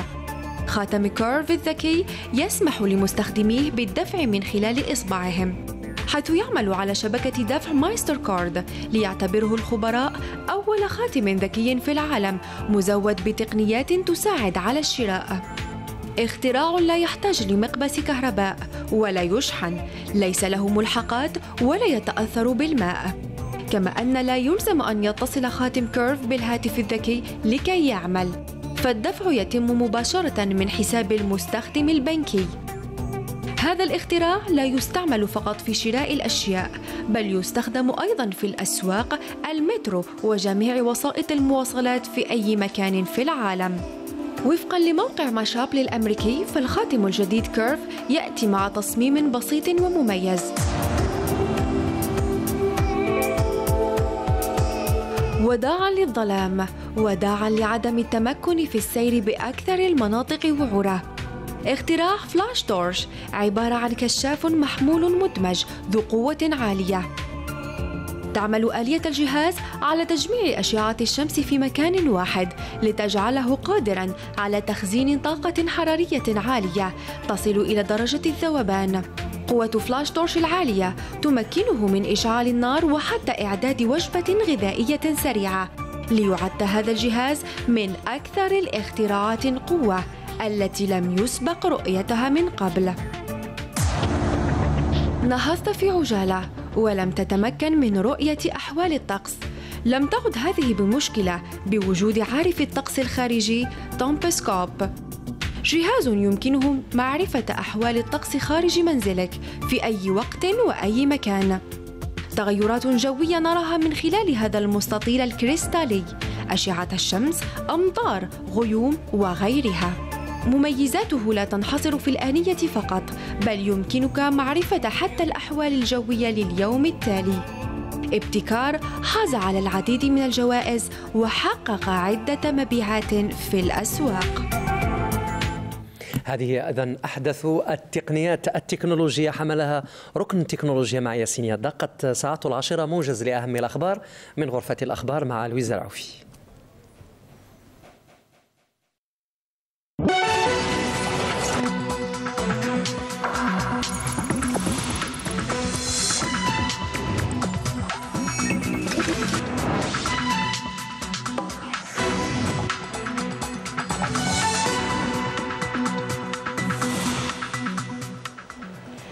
موجز لأهم الأخبار مشاهدينا أهلا بكم. بداية يتراس واليوم السيد عبد المجيد تبون رئيس الجمهورية القائد الأعلى للقوات المسلحة وزير الدفاع الوطني الاجتماع الدوري لمجلس الوزراء بتقنية التواصل المرئي عن بعد. ويتضمن جدول أعمال هذا الاجتماع بحث ودراسة عدد من الملفات ذات الصلة بالدخول الجامعي والخطة الوطنية للإنعاش الاقتصادي والاجتماعي. وضمن التعليمات المسدات خلال اجتماع المجلس الأعلى للأمن حدد الوزير الأول بعد التشاور مع لجنة الفتوى لوزارة الشؤون الدينية والأوقاف واللجنة العلمية لمتابعة تطور جائحة فيروس كورونا كوفيد 19 حدد نظام تنفيذ القرار المتضمن الفتح التدريجية والمراقبة للمساجد وذلك في ظل التقيد الصارم بالبروتوكولات الصحية المرتبطة بالوقاية والحماية من انتشار الوباء في مرحلة أولى. وعلى مستوى الولايات الخاضعة لحجر منزلي جزئي وعددها 29 ولاية. لن تكون معنية إلا المساجد التي لديها قدرة استيعاب تفوق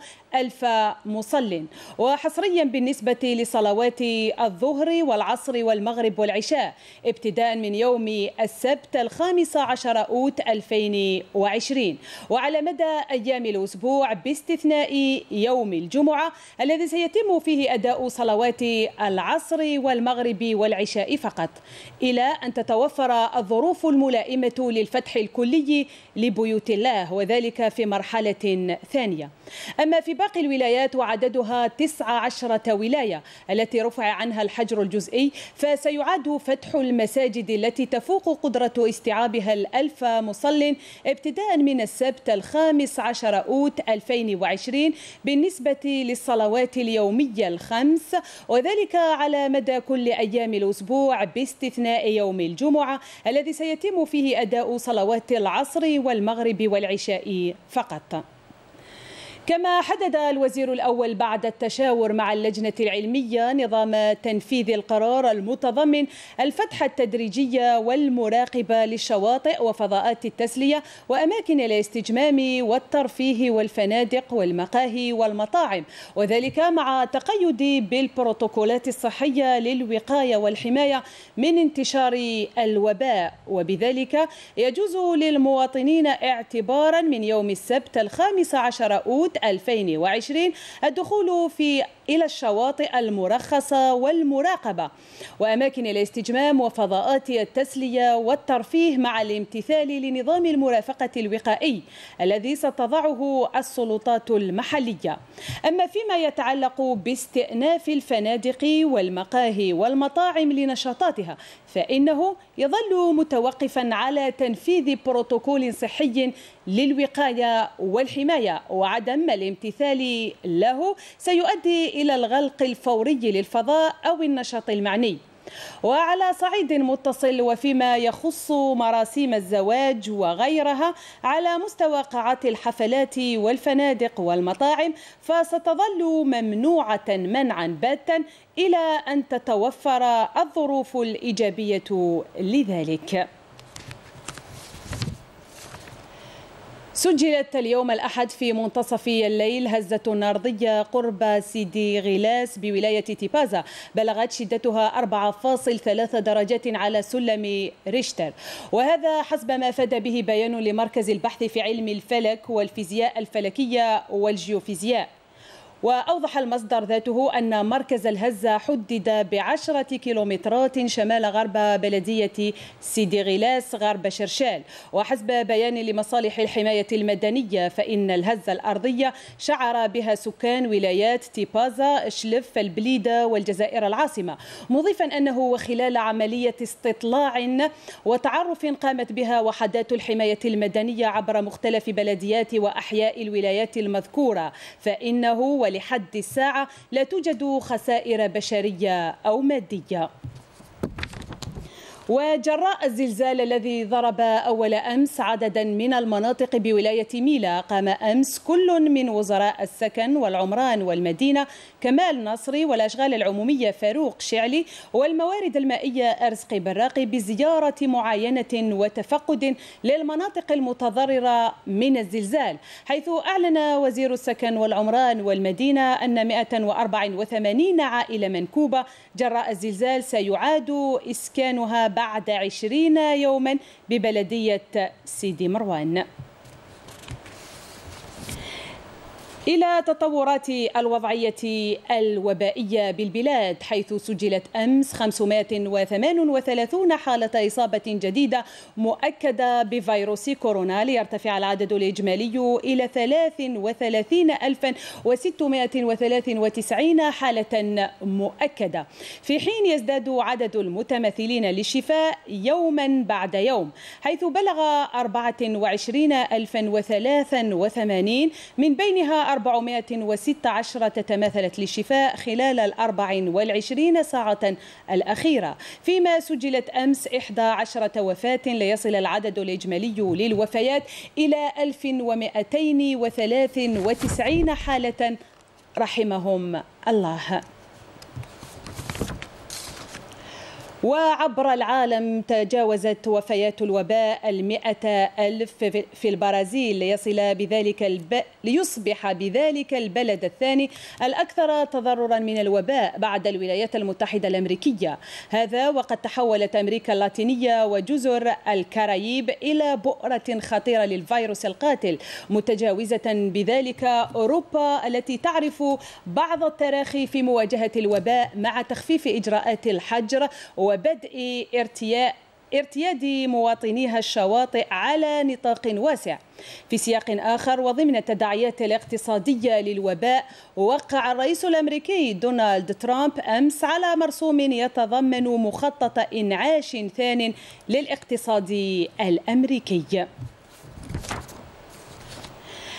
أما في تداعيات انفجار مرفأ بيروت تمكن متظاهرون أمس وسط العاصمة اللبنانية من احتلال مبان حكومية منها وزارات الاقتصاد والطاقة والخارجية وذلك في احتجاجات عارمة اجتاحت المدينة ما دفع بالجيش اللبناني إلى التدخل مخليا المباني الحكومية فيما قامت الشرطة بتفريق المتظاهرين الذين يطالبون بالتغيير في البلاد وأمام هذه التداعيات الخطيرة اقترح رئيس الحكومة حسن دياب الذهاب نحو انتخابات تشريعية مبكرة لإنتاج طبقة سياسية ومجلس نيابي جديدين.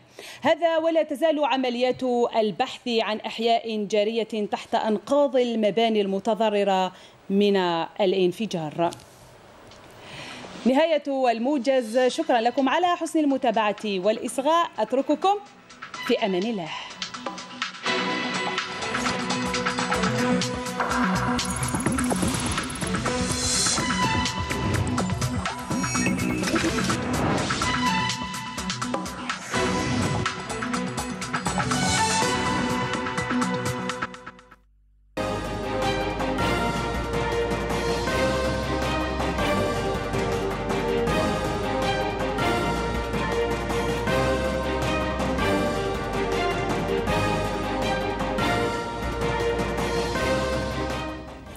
أهلا بكم مجددا سيداتي سادتي إلى فضاء برنامج هذا الصباح. ضمن آه، طبعا اهتمامنا متعدد بكل الفعاليات والنشاطات كما هو اهتمامنا بتراثنا الوطني المادي والمادي كبير وسعيا للوفاء طبعا للمظهر الجمالي للمدن القديمة. هي عديدة المبادرات المجتمعية التي تسعى وتعمل على الحفاظ على هذا الوجه الجميل لهذه المدن. كآخر محطة وقوفنا سيكون عند مبادرة لترميم قصبة مستغانم. كاميليا حموم لديها التفاصيل. المدينة الزرقاء من شعار عبر صفحات التواصل الاجتماعي إلى مشروع فعلي. تجند له شباب متطوع لإعادة إحياء هذا الحي العتيق المسمى بالمكسر قصبة مستغانم. إحنا كمتطوعين ولا كمحسنين نخدموا المدينة تاعنا وهذه تجديد ونوقفوا معها إحنا كمتطوعين ومحسنين. ولما لا تصبح هذه المنارة تاع مسغاليم و ومدينة ساحلية وسياحية. نعاودوا نعطوها الوجه تاعها الحقيقي والمناطق الأثرية تتدخل بالمناطق الأثرية اللي فيها. ايوا وكان تجاوب من بعض سكان الحي هنايا وتاع ناس مسغاليم نشكروا كل من ساهم بيده ولو بماله ولو بكلمة طيبة. ربي يعاونك. بارك الله فيهم.